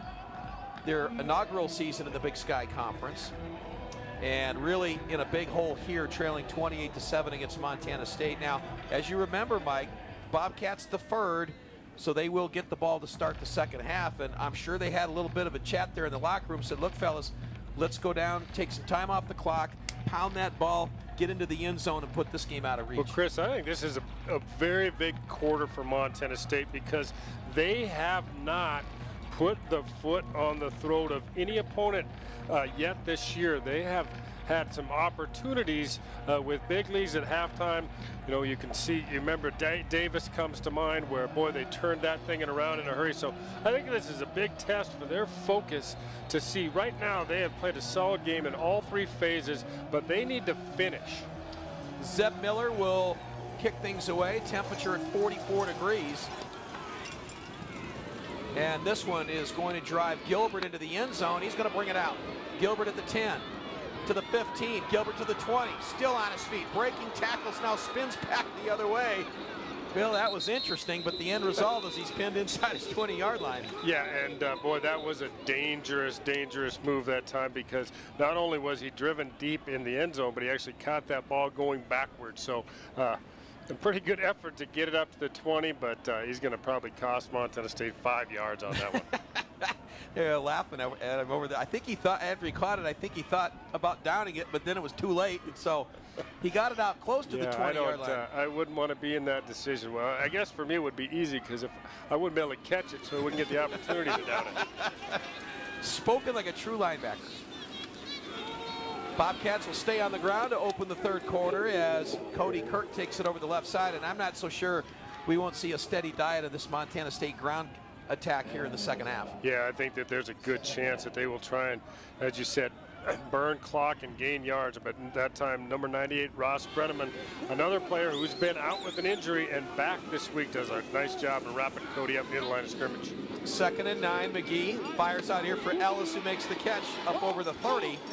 Falls forward to the 35 and a first down for Montana State. Mike, are you surprised at the, the, the lack of offense from North Dakota today in, in lieu of what they did last week? Uh, uh, honestly, no. Yeah. Uh, I thought that Montana State would be able to come out and pressure the quarterback with their front four and uh, really force him to do some things that, or do things sooner than he was accustomed to. Uh, I guess the question was if they'd be able to consistently cover in the back end, and, and they have. And another good run by Cody, or Boy. Yeah, Cody Kirk is closing in on 100 yards today. Yeah, he gets right on, goes off the butt of a Renz, or excuse me, of Trey Robinson that time for a nice pickup. Cats stay on the ground. Kirk, big holes. Cody slams up over midfield to the 48-yard line, and they are just absolutely dismantling this North Dakota defense. Well, that three-man front gives you a little bit different look mm-hmm. uh, because you are going to have some gaps and some space to work in. But uh, so far, uh, the offensive line for Montana State has just really done an outstanding job. Well, and you get up there and try to stop the run, and then you got to contend with the Cats passing game as they hook up with Ellis on a little slant pattern. And Montana State's been very sharp today. No penalties, good execution, very sharp. I think the week off did them good. Yeah, no turnovers. All the all the things where they've really been struggling the last couple of weeks is, uh, you know, is turning the ball over and the penalties. Obviously, this is a team that is pretty disciplined, but comes in as the second most penalized team in the Big Sky, Chris, and that's just something that they need to clear up and uh, and improve upon if they want to be one of those elite teams that you see at the top of those standings we had up earlier. Give us to Kirk, and again, Good running there. Gain of four brings up second and six here early in the third quarter. Here's McGhee. Fires out there for, intended for Bleskin. Good coverage that time. Incomplete pass will bring up third down. Was good coverage. The, the one time today, this ball just comes out. That, that's a tough throw to that, that long out out there. Uh, just not quite enough on that one. So third and six for Montana State, kind of driving into that teeth of that wind right now. You see the numbers on Bleskin, four for 60. Four receivers now for McGhee. On third down, DeNarius looks across the middle and has a completion at the 25. And that is complete to Cruz Seawing, and he's got a first down inside the 20. Boy, DeNarius McGhee does a nice job with his eyes. He looks down this left side where they had a three full streaks going, comes back to the backside, delivers that ball perfectly right in front of Seawing, and another first down for Montana State. Seawing with three catches this afternoon. Here's Kirk who slams up inside, and that's close to another first down, just inside the 10. Will bring up second and one. Well, another big hole. Look as you see the pull. Then Trey Yep. Robinson leads that thing up. Can't even find anybody to block that time. Uh, but uh, Cody Kirk, with another eight-yard burst. Second and two. Bobcats opening possession third quarter and just marching down the field.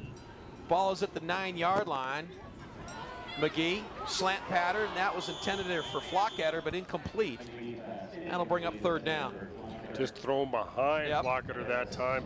Uh, looked like they were trying to get that quick slant and just uh, ball wasn't delivered in a in a fashion that could be catchable, but a good read that time by McGhee to check out of that. Got the one-on-one coverage on the outside and tried to go make a play. I think the wind maybe had a little something to do with that one. The numbers yeah, on you can Daenerys see. I think he's trying to pull that thing down because it is uh, really starting to hum down there at that end of the field. quarterback keeper as McGhee's taken down right at the first down marker. We'll see where they spot it. Needs to get to the eight yard line. He'd be very close. Well, are you going to make a call? Are you going to commit? Or are you going to just Yeah. leave it at very Oh close? yeah, no, I'll go first down. right when they started moving, that guy starts Well, waving his arm. I, that was, I, am no dummy. I, I saw the chains move. I'm calling first down. It'll be first and goal from the eight yard line. Very impressive drive for Montana State to open the second half. And they shift Perkins in motion. And McGhee now looks looks that way. Now rolls out of the pocket. And he's got some running room at the 10. And now taken out of bounds as that was closed down quickly. That time, great pursuit by the North Dakota defense. And that was big number 98, Brenneman, who rode him out of bounds. Yeah, Brenneman is one of their senior leaders that has come back and put a good, solid performance out today. But this time, nowhere to go with the football. McGhee breaks it to the outside. He's still looking downfield, but nobody open, and uh, does a nice job really to hold on to that one, Chris. We've seen that's the area of the field where he kind of likes to maybe force and try and make a couple things happen. That time, very good decision making. Second down from the nine. Thrown out there, intended for Bleskin. And McGhee just kind of short-armed it, didn't get there. Incomplete pass will bring up Yeah, I third think down. It, it was catchable. You see Yeah. Bleskin on that one. The ball was a little bit low, but it was catchable. That was one where he just turned his head upfield. Uh, was more concerned that, that the mistake that is so often made, what you're going to do after the catch. But you've got to first, first bring the ball in. Third down for Montana State from the nine.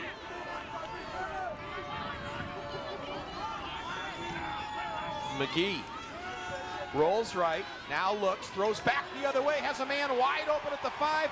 Touchdown Montana State. What a well-designed play as they got Lee Perkins out there on the flat and there was nobody anywhere near him and he gets the easy touchdown. That's one we haven't seen for a while from Montana State, but this is a thing where they motion every, everything goes to the right. They have the tight end on the backside that sneaks out here and just plenty of room between him and the nearest defender, and he's able to turn that up and goes into the end zone easily. 34 to 7. And Perez on for the extra point. Kick on its way and good. 10:48 to go, third quarter. Cats up the margin to 35-7.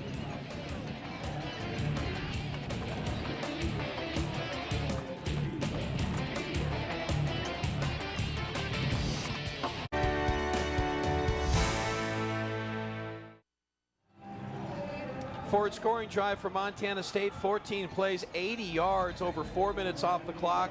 And Perkins, the tight end, catching the touchdown pass, 35 to 7 now for Montana State. And Mike, I'm beginning to wonder at this point of the game when we might see Marcus Hendrickson, the other quarterback for North Dakota, who of course replaced Hanson when Hanson was injured, if we might not see him here in the second half.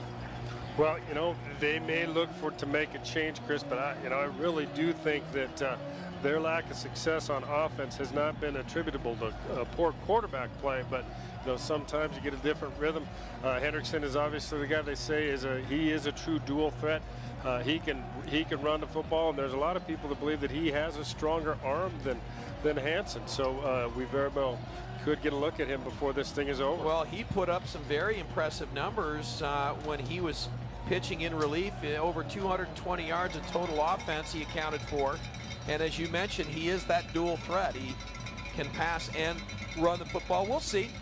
35-7 our score. 10.48 to go in the third. Cats set to kick it away. A.J. Silva gets his foot into it. And this one comes down to Miller inside the 10. Miller up over the 20 to the 25, falls forward to the 28-yard line. And that's where North Dakota will take over. And again, this is, boy, execution on this play, Mike, you just couldn't do it any better. No, you can just see they they just make everything look like they're going right and then sneak him out underneath. And the linebacker realizes it, uh, but too late to go make a play, just too much separation. So North Dakota, UND will try something here to get this offense jump-started as they're on the field for the first time here in the second half. The numbers on Hanson, 9 of 19 for 104 yards and a touchdown. Goes right up to the air, and that's complete. Short gain to Blair Townsend, junior wideout, makes the catch, and the gain is to the 32. I think that's a good play call on the part of North Dakota. They want to get this quarterback. Obviously, we know what he can do. Get him some easy throws, some pitches and catches that, that he can get done and maybe start to feel a little bit more confidence because he was just battered and bruised that first half.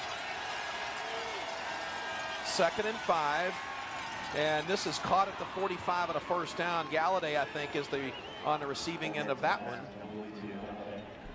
And that's a first down. The gain is up to the 47-yard line.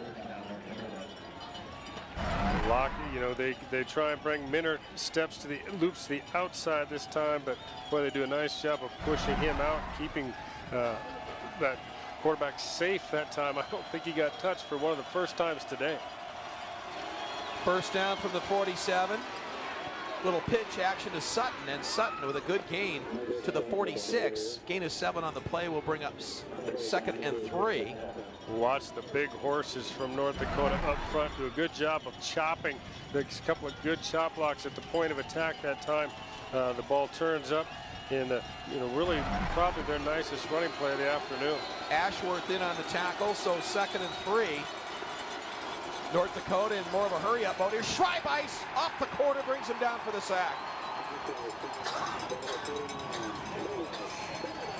Well, geez, that's just great effort. He has been pressuring, pressuring, and gets there again this time, but he just comes out, beats the tackle to the outside, and that's pretty dang good effort when you can reach around, get twisted like that. Uh, Schreibeis is having an outstanding yeah. year uh, so far for Montana State. He's had a couple of sacks already today, and he's been close on a whole lot more, Mike, but that time brings him down for a loss, so it's third and eight from the 45. And now, timeout taken by North Dakota, and again... Timeout, University of North Dakota. They'll use their first of the second. Well, we'll keep track of that game. That could be huge. Hanson now out of the gun on third and eight. Looks, now throws, has a man wide open. That's Sutton at the 45. Fights forward, and by the spot, he is going to have the first down by a yard. Mitch Sutton does a nice job that time. The, the, the senior running back, they start with both backs in the backfield, one on each flank. They sneak Sutton out. He gets underneath and is able to pick up enough to move the chains for North Dakota and give them a little bit of momentum, Chris. They've got a pretty decent drive going right now. Oh, they've got to come away with points right now. Under nine minutes to go as they'll stay on the ground to Sutton. Good running. Up over the 40, down to the 36-yard line. But if you look at North Dakota's stats coming in, they look like a very balanced attack. 51% uh, passing, 49 running, but lately has been far skewed from that. They have been throwing it 75% of the time, so they have a running game if they choose to just stick with it. Be a hard program for them today being this far down. Hanson complete out there to Sutton. Falls forward to the 30, and that's a first down. Well, Hanson, again, all kinds of pressure. They got him wrapped up, but he was able to complete the pass. And that'll move the chains as North Dakota will continue the drive. But watch the pressure now by Montana State as Hanson drops back, and you're going to see Grosselak wrap him up. But he gets yeah, it away. You can see. He, he steps up in the pocket. I mean, he's getting twisted, uh, if not hit, on just about every play. But he is delivering the football. Hanson goes across the middle. Great coverage by Grosselak, but an even better catch at the 25-yard line. Well, Jameer Jackson is a big target. 6'3", 233 pounds. He is a redshirt freshman, and coming into today's game has been the most productive freshman receiver in the country. Clock continues to be the enemy of North Dakota. Seven and a half to go in the third. They need points, and they need them in a hurry. Now they shift everyone over to the left side. Miller in the backfield on second and four. Miller gets the call. Flag comes down. Miller will be stopped short. Stopped short of the first down, but we'll see what the flag's all about. A little bit of confusion that time. I think they're going to have a false start. Looked like they were moving on the outside of maybe an hard. Illegal shift, offense, number 83. Five-yard penalty, still second down. Goes against Jameer Jackson. So that'll back him up five.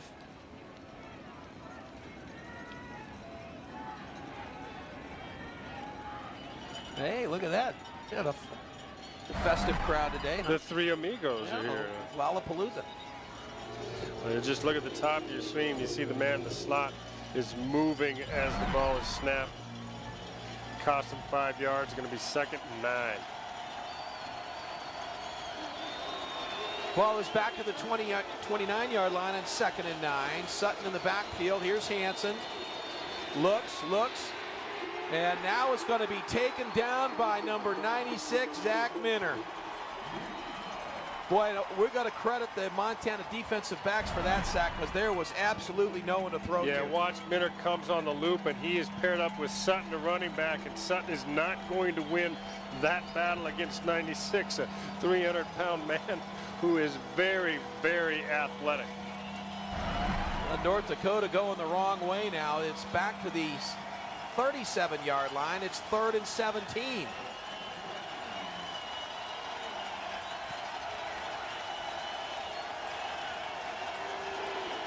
Hanson out of the gun on third down.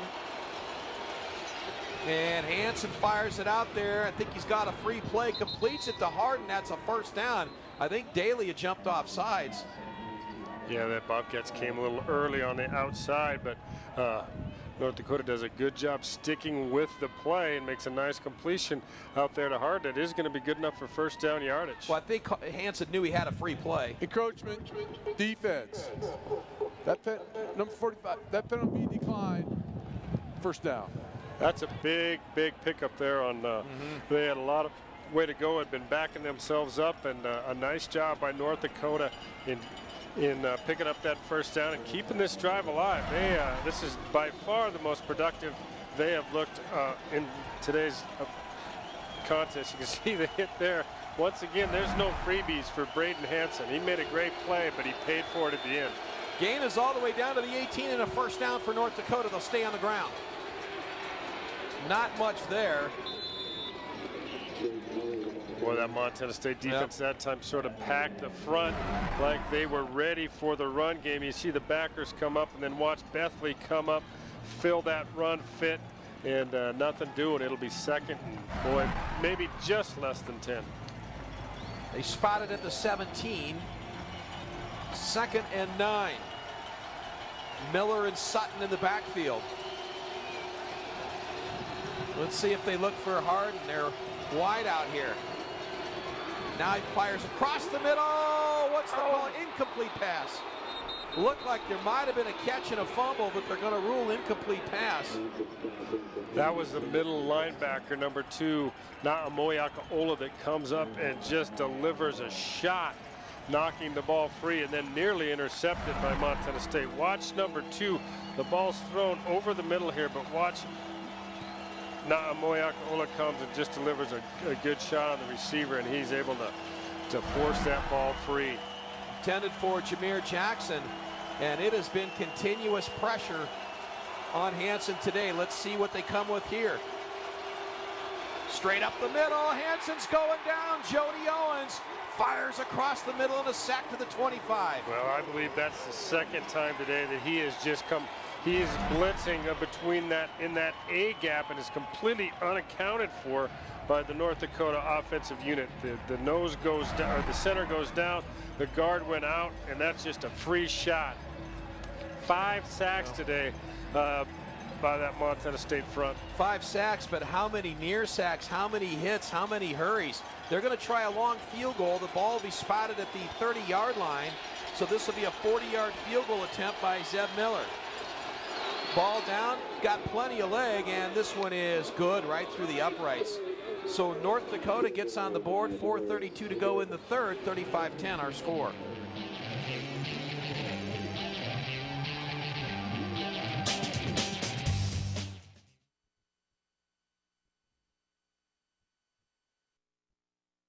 At the Fireplace Center, we realize it's not one size fits all when it comes to your fireplace and accessories. We offer hundreds of options, like Heat and Glow. Heat and Glow has many fireplace options to fit your needs. Whether gas, wood, or electric, we've got you covered. The Fireplace Center is the region's largest fireplace retailer. We offer the finest products, professional installers, and as always, we guarantee to beat any competitor's price. Visit us in the store or online at fireplacecentermontana.com. Opportunity doesn't knock on just any door. Sometimes you have to seek it out. Opportunity sees possibilities and finds dreams. It helps you say hello to your potential and to your future. First Interstate Bank. That's what opportunity looks like.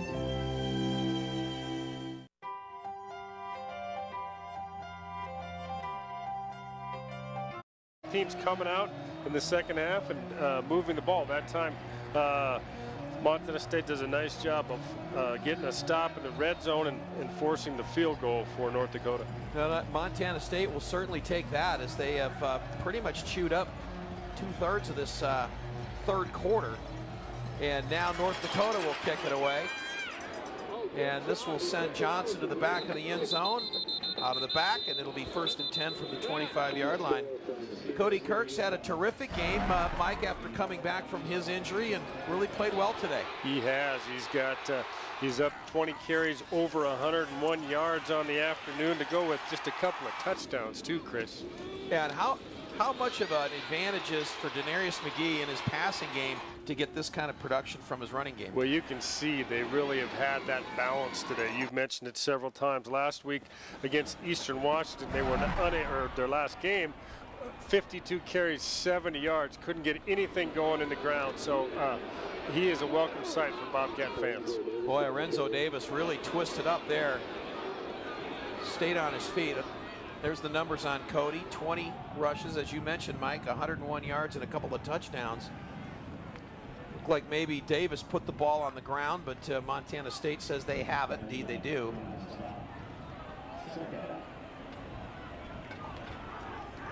Well, Davis is going to come out of the game uh, hobbling a little mm -hmm. bit. It did look like he got twisted up, as you said. Well, Chris, that's what we're what, from up here. He got stood up, and of course, that's the scary part if you're running back and you got people wrapping up and twisting at your bottom of your legs, and Yeah. I think he may have When twisted a someone's leg. got a hole you can't defend yourself, uh, it gets a little dangerous. Now we're going to have another flag come in.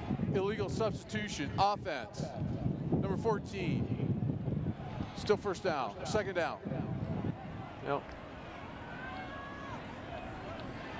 You watch Mike on this play. Watch where Davis just gets stood up right, right here after he breaks one time. Now right here, and then you'll see everyone kind of grab and twist and pull. Yeah, and that ball clearly was out. Uh, Montana State luckily to get that thing back. Second and 17 now. It's inside the 18-yard line. Pass is caught out there. Nice catch by Chase Young, his first catch of the afternoon. And that gets a good chunk of that yardage back all the Boy, way out to does. the 27. It's still going to be about third and eight, but watch Chase Young just sprints up the field like he's on a go right here, and then shuts it down. Uh, McGhee hits him in perfect timing, and he's able to pick up a good, a good piece of it, but still a long ways to go for Montana State. Three receivers split to the right. Ellis below the screen on third down and eight from the 27. DeNarius finds Ellis at the 35, and that is just enough for the first down. He knew right where the first down marker was, got it by a yard. Yeah, that was just great execution on that. Just a little inside, little slant. He works the DB up the field and then turns it in to create the space, and the ball is delivered. It just couldn't be any any better than that, Chris. Uh, McGhee has been sharp. Five catches for Ellis today. And they're going to stay on the ground, and Orenzo Davis will take it up over the 40-yard line. Well, I guess that answers the question. Uh, if uh, Renzo is okay, quickly coming back in the Yep. game is Davis, and, and a nice little pickup there for uh, to make it what's about second and five situation, second and four. Yeah, from the 41. Here's McGhee.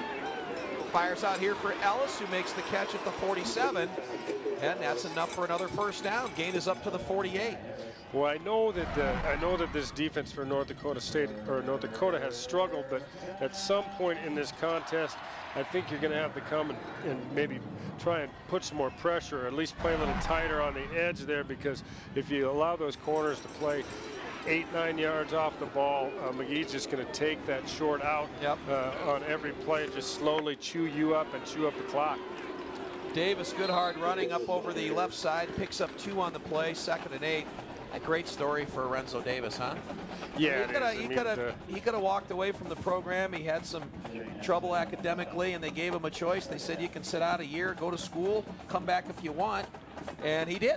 And he did, and he's having a great year, and he's contributing greatly to this offense. Uh, um, it's a good story. You know, you, you have some problems, and I think he would admit that they were of his own making. But as you said, Chris, he made a choice. It could have, it would, would have been the easy decision would be to say, well, I'm not going to stick around for a year. I'm, you know, I came here to play football, and, but he did it. He did everything that was asked of him, and is now back and, and making huge contributions to this Montana State football Well, and, team. and not only did he come back, he didn't come back as the number one tailback. He was the guy his junior year. He came back battling Cody Kirk and Trey Robinson and really had to fight his way for, for playing time.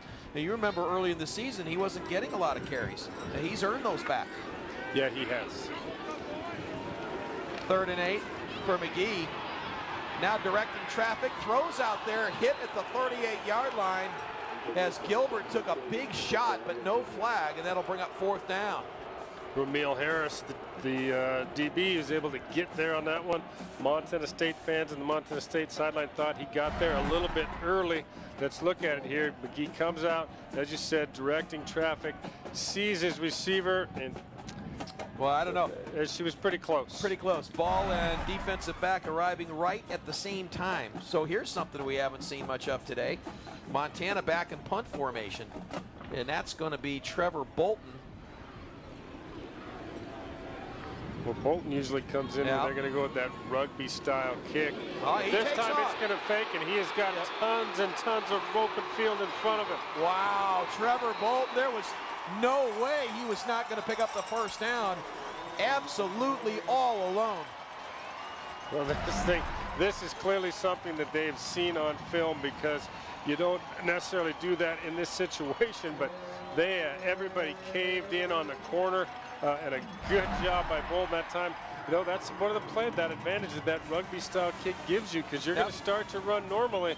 That time uh, he just didn't stop. Well, he's getting a lot of high fives over there. Just a freshman from Great Falls. And Bolton gives the Cats a first down under a minute to go here in the third. Here's Davis. Shakes his way to the outside, down inside the 20 to the 18. And that's a big gainer on the play. Give him nine on the play, second and one. Well, kind of starting to gash that defensive front at this point. Uh, some some bigger plays in the run game. Uh, really, the yards are really starting to add up. 232 on the ground already for Montana State. First down for Orenzo Davis inside the 15 to the 14. That could be the final play here in the third quarter. So the Bobcats continuing to use clock here in the second half, content to just ground the ball,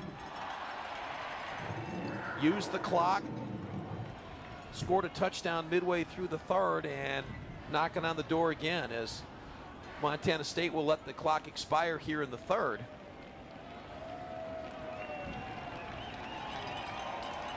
Big ovation from this crowd for the effort today. Coach Ash and his team leading 35 to 10 at the end of three.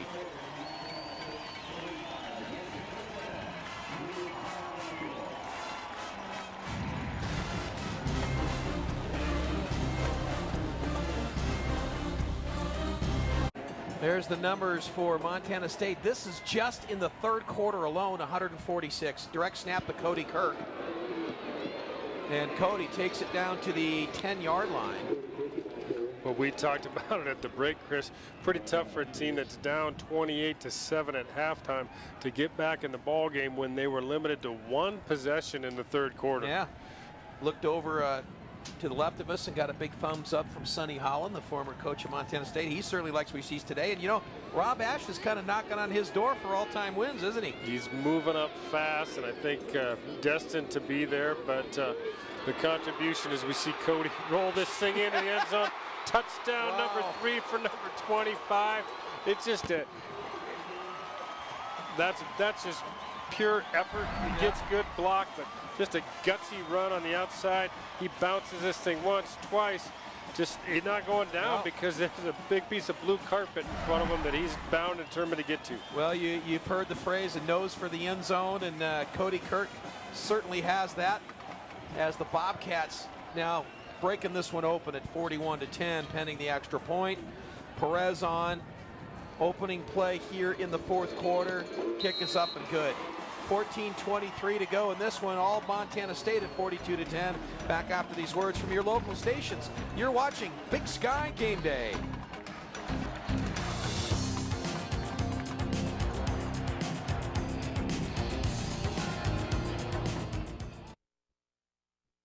What would you do with an extra $5,000? Take And a 10-yard touchdown run by Cody Kirk to make it 42 to 10.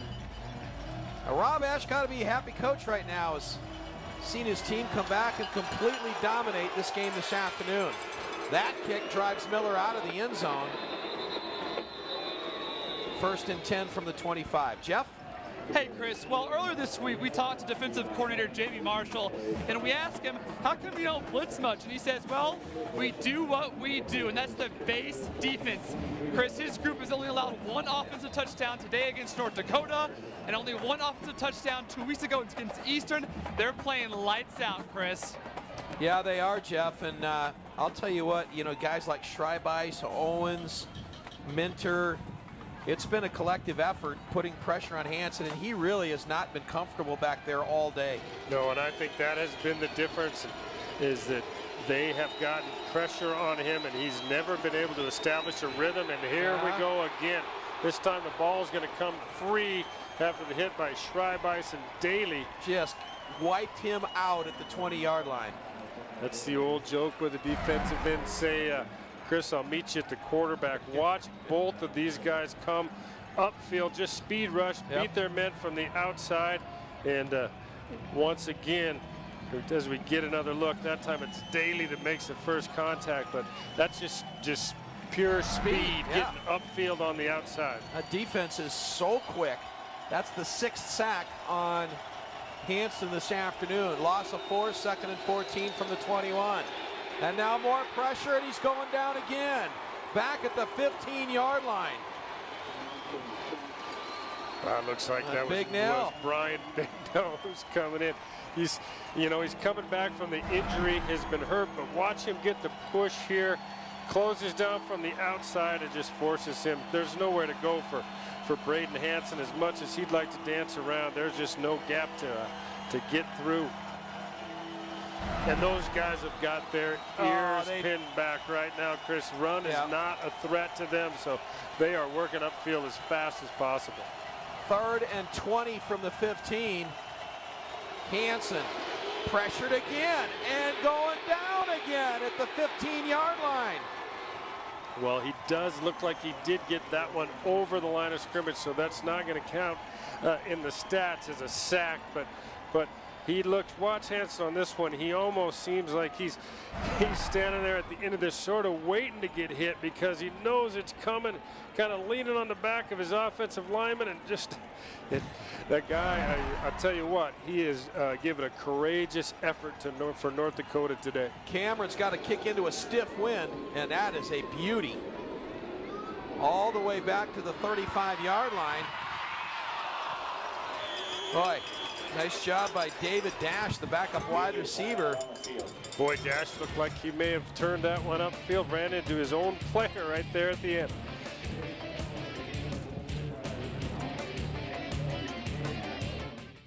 You've seen the false attacks on Rick Hill, but here's the part they cut out. We do not. Montana State back out with the football. 12-15 to go in the fourth. Numbers on McGhee, 258 yards and two touchdowns to give us to Cody Kirk. And Cody, a gain of 10 and then some, down to the 46-yard line, and that's another first down. Boy, again, a nice job up front by that offensive line. Look at him getting a hat on a hat. A nice seam for Cody to get through. Then it's just uh, whether those linebackers and safeties can bring him down. And on that occasion, it took a few of them. Kirk again, this time cuts back up inside, has all kinds of running room. Down inside the 40 to the 34, and another first down. Boy, this is just impressive, really. Both sides of the football, Mike. Yeah, it is. And, and and it's special teams. There hasn't been a disaster. They had a couple of close calls, but this is a complete football game so far by Montana State. And I'll tell you what, Bobcat fans are happy to see 25 back on the field. First down from the 34. Kirk, this time's going to be wrapped up right at the line of scrimmage. No, out. Take that back. Spoke too soon. Kirk to the 20, 15. It is absolutely amazing, Chris. As you said, oh, he was, we, had, we had him down, but there is no quit in number 25. Look at him, good block, but this time he does this on his own. He's got Nelson there, at him on the line of scrimmage, a third defender, but that is not enough. Gets that thing into the secondary, and Montana State is in the red zone one more time. First down from the 14. Trey Robinson now in the backfield, and he gets the call. And Trey slams up inside of the 10-yard line. He picks up five on the play. Looks like there's a North Dakota defender down on the field. They don't have a number, but uh, looks like it is. We can see the three, but I'm uh, 34 is going to be uh, Cordero Finley, their linebacker. So an official timeout on the field at 10:53. We'll step aside and hear from these words from your local stations.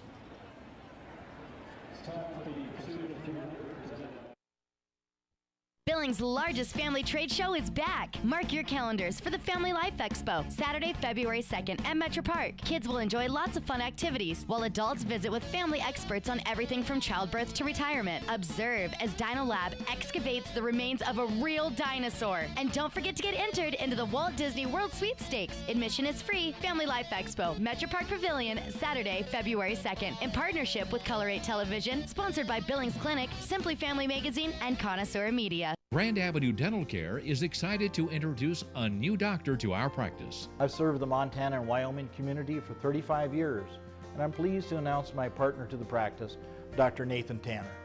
Dr. Tripp and I have the same philosophy on providing the best care possible for our patients. I've been in practice for over 12 years, and I'm honored to be able to join the Grand Avenue Dental Care team. If you have a dental need that is long overdue, give us a call today. Don't let fear get in the way. Call Grand Avenue Dental Care today. Only Polaris delivers the ultimate combination of power, suspension, and agility. The only trail capable side by side, Ranger Razor. The only sport performance side by side, Razor S. The only four seat sport, Razor 4. And the only extreme performance side by side, the 88 horsepower Razor XP. Hello, this is Todd from Yellowstone Polaris. Check out the Thrifty Nickel each Thursday for our monthly programs and our weekly specials. You're watching KULR 8. Second and six for Montana State. Robinson in the backfield. Trey gets the call, steps up inside of the five, close to a first down. I think he's going to be about it. spot spotted at the five, just a little bit short, so it is going to be a third down situation. But boy, Chris, there's some uh, we got some changes going on in the Big Sky today. No question, Southern Utah has upended the number one ranked team in the country, Eastern Washington 30 to 27. And we think that Northern Colorado game has gone final. We'll let you know, but 10-9 at last report late in the game. Third and one from the five. Here's Robinson. Got the first down, falls forward just short of the goal line. So a fresh set of downs for Montana State. And this is going to a very interesting day in the Big Sky Conference, Mike. Yeah, watch the finish here, Chris. As Trey Robinson just drives and he is pumping those legs and they just gets that thing done. Almost gets it in, just comes up a little bit short. So he takes it down to the two yard line. First and goal from the two as we're inside 10 minutes to go in this one. Well, Chris, I tell you, you look at the undefeated teams, one has fallen for sure. Looks like another one is on the ropes. Cal Poly may be a little bit worried to kick it off tonight. Yeah, here's McGhee. Pass and catch to Ellis touchdown. Boy, that was too easy. Ellis all alone on a little slant there in the end zone scores. Well, when you've been feeding them a steady diet of run, run, run, and then see Cody Kirk come back in the game, you've got to believe that they're going to run the football, but Ellis just beats the, the coverage there on a quick slant to the inside. Touchdown for John Ellis. So Perez on for the extra point.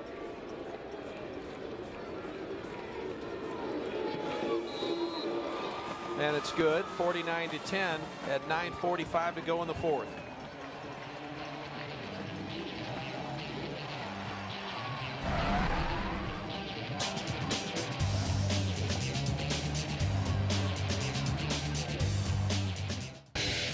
Okay, sports fans, put your game face on. It's the Built Ford Tough Sales Event. Taking the field, Ford Super Duty. Best in class torque and horsepower. That's how you crush the competition. And best in class maximum towing and fuel economy. It racks up major yardage, pal. F Series is America's MVP. 35 years straight. Touchdown, baby. Now get up to $7,600 in total savings on Super Duty with 0 for 60 plus 1000 cash.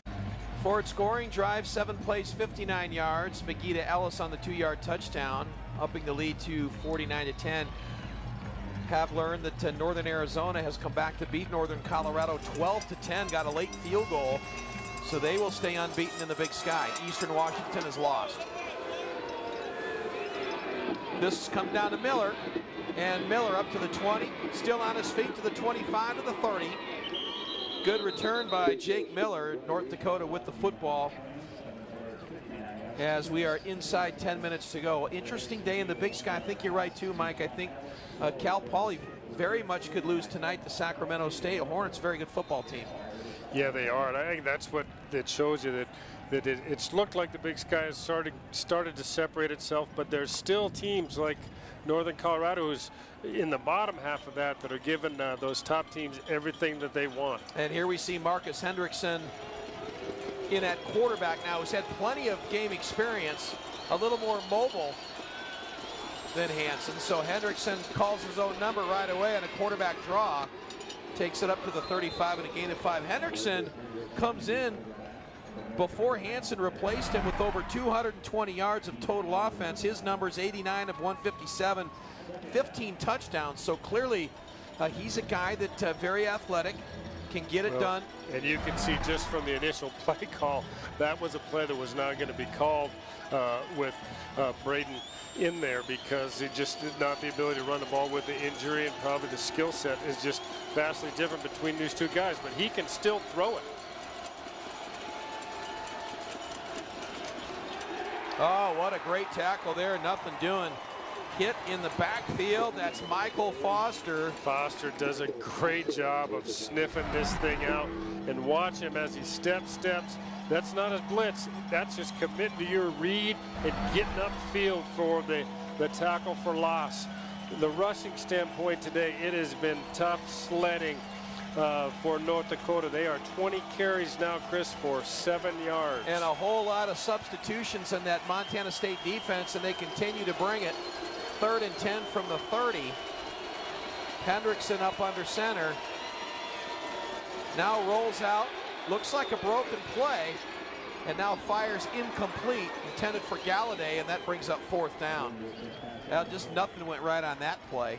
No, but I'll tell you what, you can certainly see just in these this quick what is going to amount to a three and out for North Dakota. You can see that this quarterback uh, in Henderson has got some speed that time, able to get that thing to the outside, not able to complete the football, but uh, looks like a, a really a different offense under him. Cameron into punt. dashes back to receive inside his 30.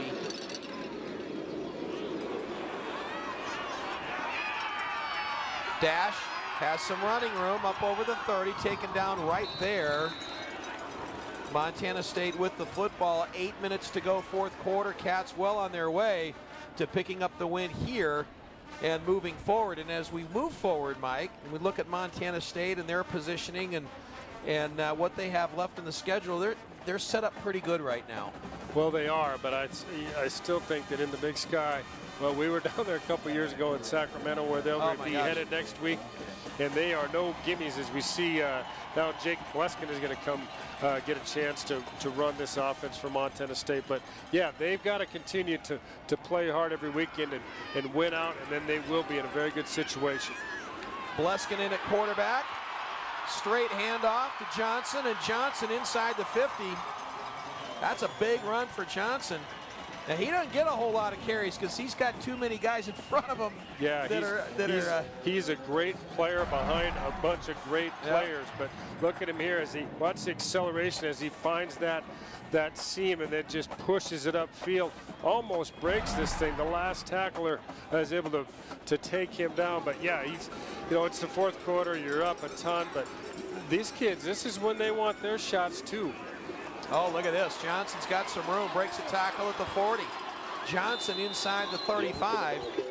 Yeah, I remember that game a couple years ago. We were down at Sac State. Huge lead for Montana State. Sacramento State came Number out, and all of a sudden we get into helmet this. came off. Missed it out the next play. It's a Donnybrook for the second half where we had kind We're of in the thought, it 60s, was, right? thought it was over. It turned into a basketball score uh, with uh, both teams just leaving it all on the field and uh, just a great football game from an effort standpoint. I can remember getting back on the plane and uh, one of the parents saying to uh, defense coordinator Jamie Marshall, hey, great game, coach. And he said, yeah, we only gave up 60. And here's Johnson again, down to the 15-yard line. Yeah, he wasn't real pleased with his team's defense. I remember that comment, and I think it was that day. It was about 115 degrees down on the field. Well, watch the speed and quickness of Shawn Johnson as he finds these seams and able to work it upfield. Shows a little power there, breaking a tackle. Gets a little bit of push on the sideline, but boy, this drive has been all about number 33. Yeah, it's the Shawn Johnson show, and he's going to get it again. This time tripped up right at the line of scrimmage. That's good to get in a game like this. The value for Montana State, you're going to get a lot of uh, second, third string guys that are going to get in and get some playing time, and you never know when they're going to be called on. Right, because it can change so fast as we've seen. Uh, we've seen running backs uh, go down. Both Davis has missed time uh, already this fall, as well as Cody Kirk. So this is a guy you need to be ready, and he sure looks like he was today. But that time, uh, nothing doing, and a nice play uh, by number 58, Garrett Ring Renecki. So Jake Bleskin in at quarterback, the younger brother of Tanner Bleskin. Two outstanding players from Great Falls. Watch this one. They're just good. No, not a seam there. And uh, linebacker comes up and finishes that off. That time, a great job by the front for North Dakota. Renzo Davis back in the lineup, tripped up. Takes it down inside the, just inside the 20-yard line. Well, I think that one is, they're going to come up short. It's going to be fourth down. It looks like uh, Rory Perez is going to come on and see if he can put three on the board for Montana State. Ball will be at the 27, so That's, this uh, 37-yard field the goal. fourth attempt. possession of Montana in the second half and the first time that they've had to settle for less than seven points.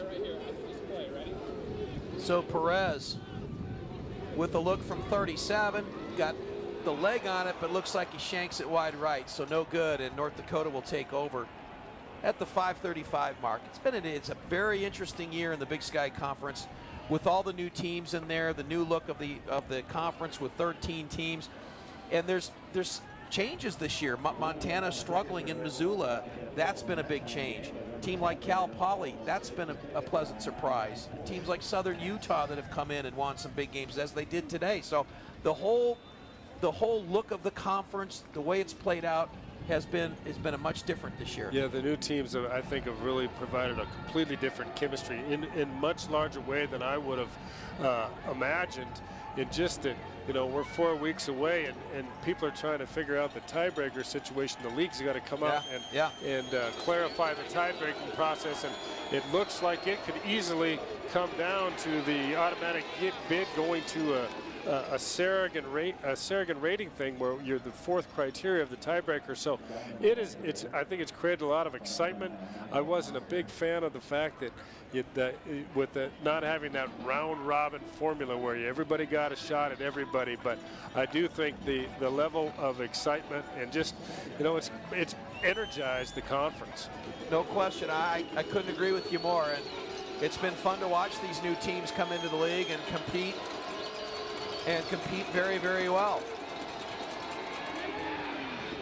And that one's almost intercepted. They're kind of ping-ponged off of Golladay. Well, Hendrickson looked like he was going to run the ball, but he was looking outside to Golladay. Golladay, I think, thought that he was going to run the ball as well and wasn't expecting that one. Actually, you watch as you. Hendrickson will break the pocket here, but he's still looking to throw it. Golladay thinks he's going to run it. He just kind of threw that one at him. I also, I'd like to, you know, you, you see teams that are ranked, but I also would be interested to see how the conferences stack up across the country as you get closer and closer towards the playoffs. What is the premier conference in the FCS right now? You can make a case for a lot of them, I suppose. Hendrickson's going to go down here. The Missouri Valley, of course, with North Dakota State, that's an unbelievable conference with Northern Iowa in there and Southern Illinois and the Colonial Athletic, I mean, they are just, uh, yeah, there's a bunch out there. And I wasn't really sure that, that uh, they talked about from the league standpoint that, hey, bringing these, these extra teams in was going to give us some more fire, to give us some more credibility on the national stage. I don't know that I really believe that, yeah. uh, but I truly am a believer uh, early on in this first season. Dash is going to let this one hit and roll down all the way inside the 35-yard line to the 32 with 4.10 to go here in the fourth.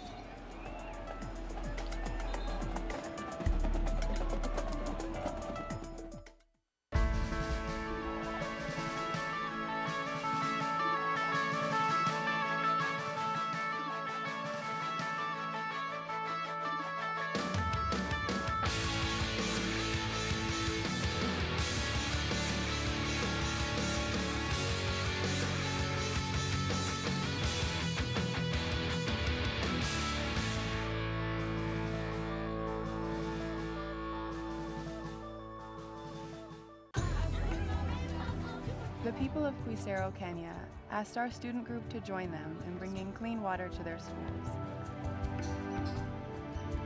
We are the Montana State University chapter of Engineers Without Borders. We use what we learn in our own classrooms to cross boundaries and create solutions.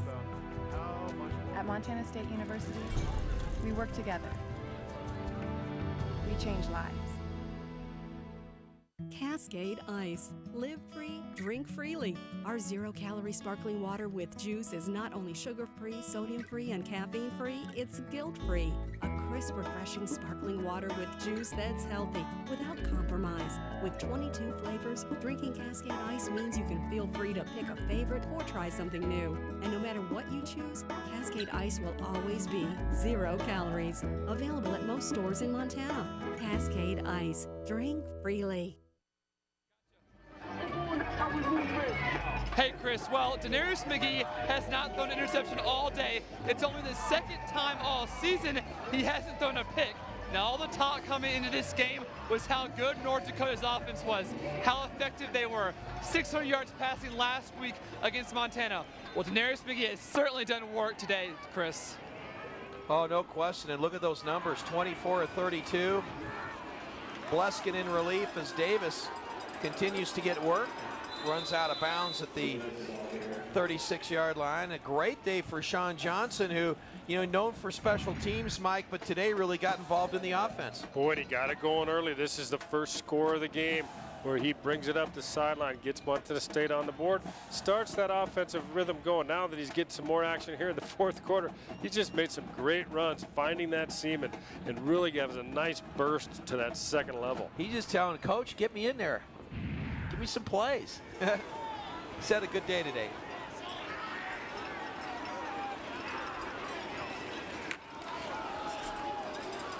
And Davis with some good running to the 45, and here he goes, Orenzo Davis. One man to beat for the touchdown and tripped up inside the 40. And that's another first down. You know, you talk about guys that have had big days. We could name a ton. We could name a whole bunch of them. Well, I think this one is going to put Montana State second back as you watch just make some nice moves and then just a burst of speed. And it is just a shoestring tackle that saves that one from getting to the end zone. But Montana State rushing 58 carries, 399 yards. Cody Kirk, 160. Orenzo Davis, 126. Johnson, 50 of his own. DeNarius got 27. And don't forget Trevor Bolton got 23 on his fake punt. That's right.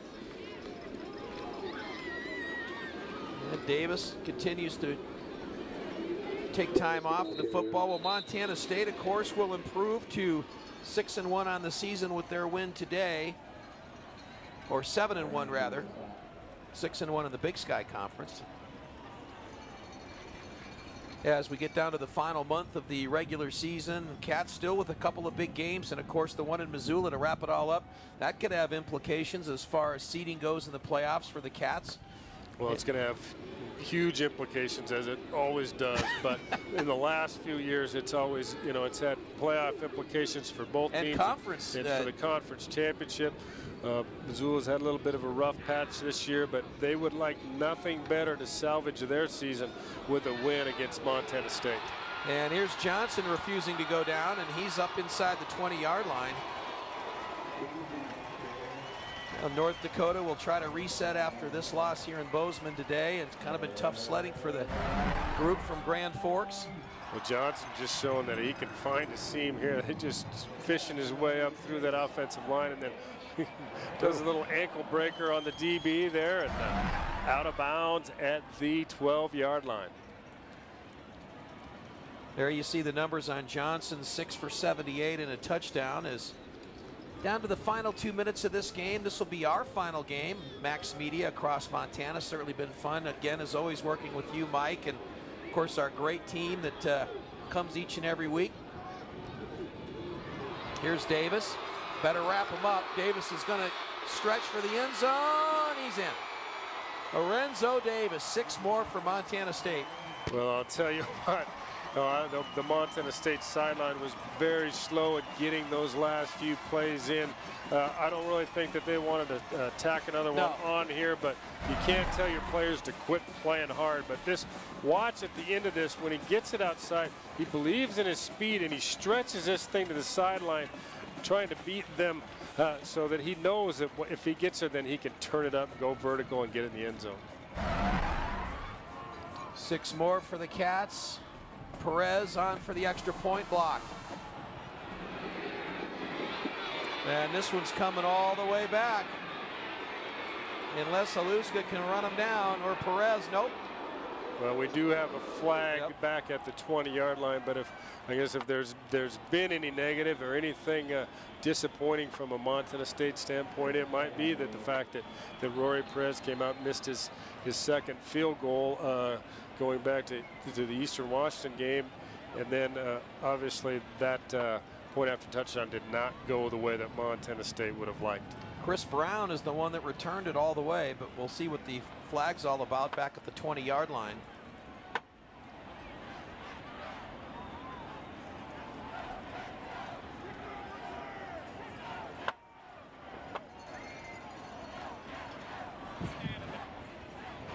Personal foul, unnecessary roughness, number 29 of the re receiving team. That penalty will offset the score, no score. Did you get that figured out? Well, I I felt his pain, Chris, because sometimes those words just they get so big inside you can't cold. get them out, and it's I cold. I go through it every week, so. Uh, I uh, have a lot of sympathy, but that one looked like it was hard to get out, and I still don't know if uh, if uh, that just negates the score, but the play is dead. All right, let's revisit the scoring here in the second half. Starting out with the, ah, this was a great play. The throwback to Perkins, everyone went right. They threw it back and he scored. And then North Dakota got a steady diet of Cody Kirk here in the third quarter. Yeah, Cody pushing that one in for touchdown number three. Then just a little slant route to Ellis. And this is a, a Renzo Davis getting his action too. And uh, there has been uh, plenty of offense for Montana State. Minute 46 to go as we look at the last forward scoring drive for Montana State. Five plays, 68 yards. Touchdown by Renzo Davis fun afternoon for Bobcat fans as they file out. What, just one more home game for Montana State? That's State. right. Down on the road next week to Sac State and then back to Bozeman one more time for uh, Portland State before going on the road to Missoula. Obviously, Bobcat fans hopeful that uh, their performance this year was going to earn them some uh, home playoff action, but uh, a lot of football to be played before that can be determined. Be interesting to see the shakeup in the FCS poll. Georgia Southern, no doubt, takes over the top spot. The Cats figure to move up at least one, depending on what the other teams do. Oh, that's a souvenir out there in a sunny Holland end zone. Yeah, the field goal is. Oh. The Rocky Mountain Bank play of the game. Oh, yeah. The fake punt on fourth down, Trevor Bolton. Uh, that was just a well-designed play that they obviously executed very well, uh, picking up some big yardage. Uh, we thought they were they're going to have to come out and punt for only the third time. It ends up it's just going to be two, but yeah, just really an all-around great day for uh, Montana State football. They they responded to a, a, a big opponent and they came out in the second half and kept the pressure on. And North Dakota will just run out the clock here as down to the final couple of plays. And now Montana State a really impressive effort after falling here at Eastern Washington a couple of weeks ago. We checked the Big Sky scoreboard. Southern Utah with the stunner today in Cedar City, beating Eastern Washington 30 to 27. Northern Arizona just holds off Northern Colorado Montana was an angry football team, apparently, as they put up 70 against Idaho State.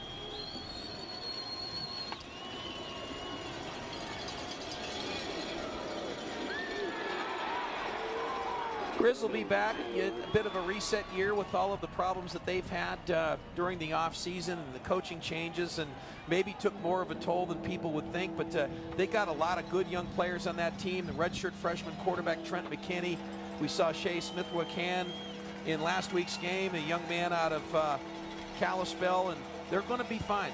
They're going to be fine, and then yeah, they've had a lot of off-field distractions, but what people forget is that they graduated uh, a group of defenders, Chris, that was probably as good as there has been in the Big Sky for a long, long time, uh, and maybe ever. So when you have to replace that many good players, you're going to have some growing pains, and, and yeah, some of the other stuff is factored in as well, but yeah, it's still a very strong program. they uh, we can uh, term that maybe as a reset year for them as they look to uh, get things back on the right track. We also have to um, also have to wonder about the the NCAA possible NCAA sanctions. Those haven't been ruled on. A big shout out to the quarterback club and Baja Fresh. Everyone gets fed on our crew by those guys except us. So I don't know why we have to give them the props, but I guess they get. I guess that Baja Fresh is pretty good eats down there. It certainly sounds like it. I'd like to have a little bit more personal knowledge. The Dash will field it at the 25. Good return. Stays in bounds. Well, we get, got an opportunity to see a lot of Montana State players. David Dash is someone that they thought was going to be an exciting player for Montana State at some point. Started out at running back, kind of got moved out by, again, uh, just a great group of athletes. But boy, I think he's shown today just a little, the little bit that we've been able to see him that uh, he's going to get some things done and is going to make some plays for Montana State as they go through this Big Sky Conference stretch. Bleskin will take a knee to officially end this one. And that'll do it. 55 to 10, the final score. Big win for Montana State as they stay in the thick of this Big Sky Conference chase. And now it gets interesting with the Eagles losing today. Cal Poly with the big game tonight against Sacramento State. So we'll wait and see what happens uh, as it's been a wild Saturday here in the Big Sky. And we'll be back after these words.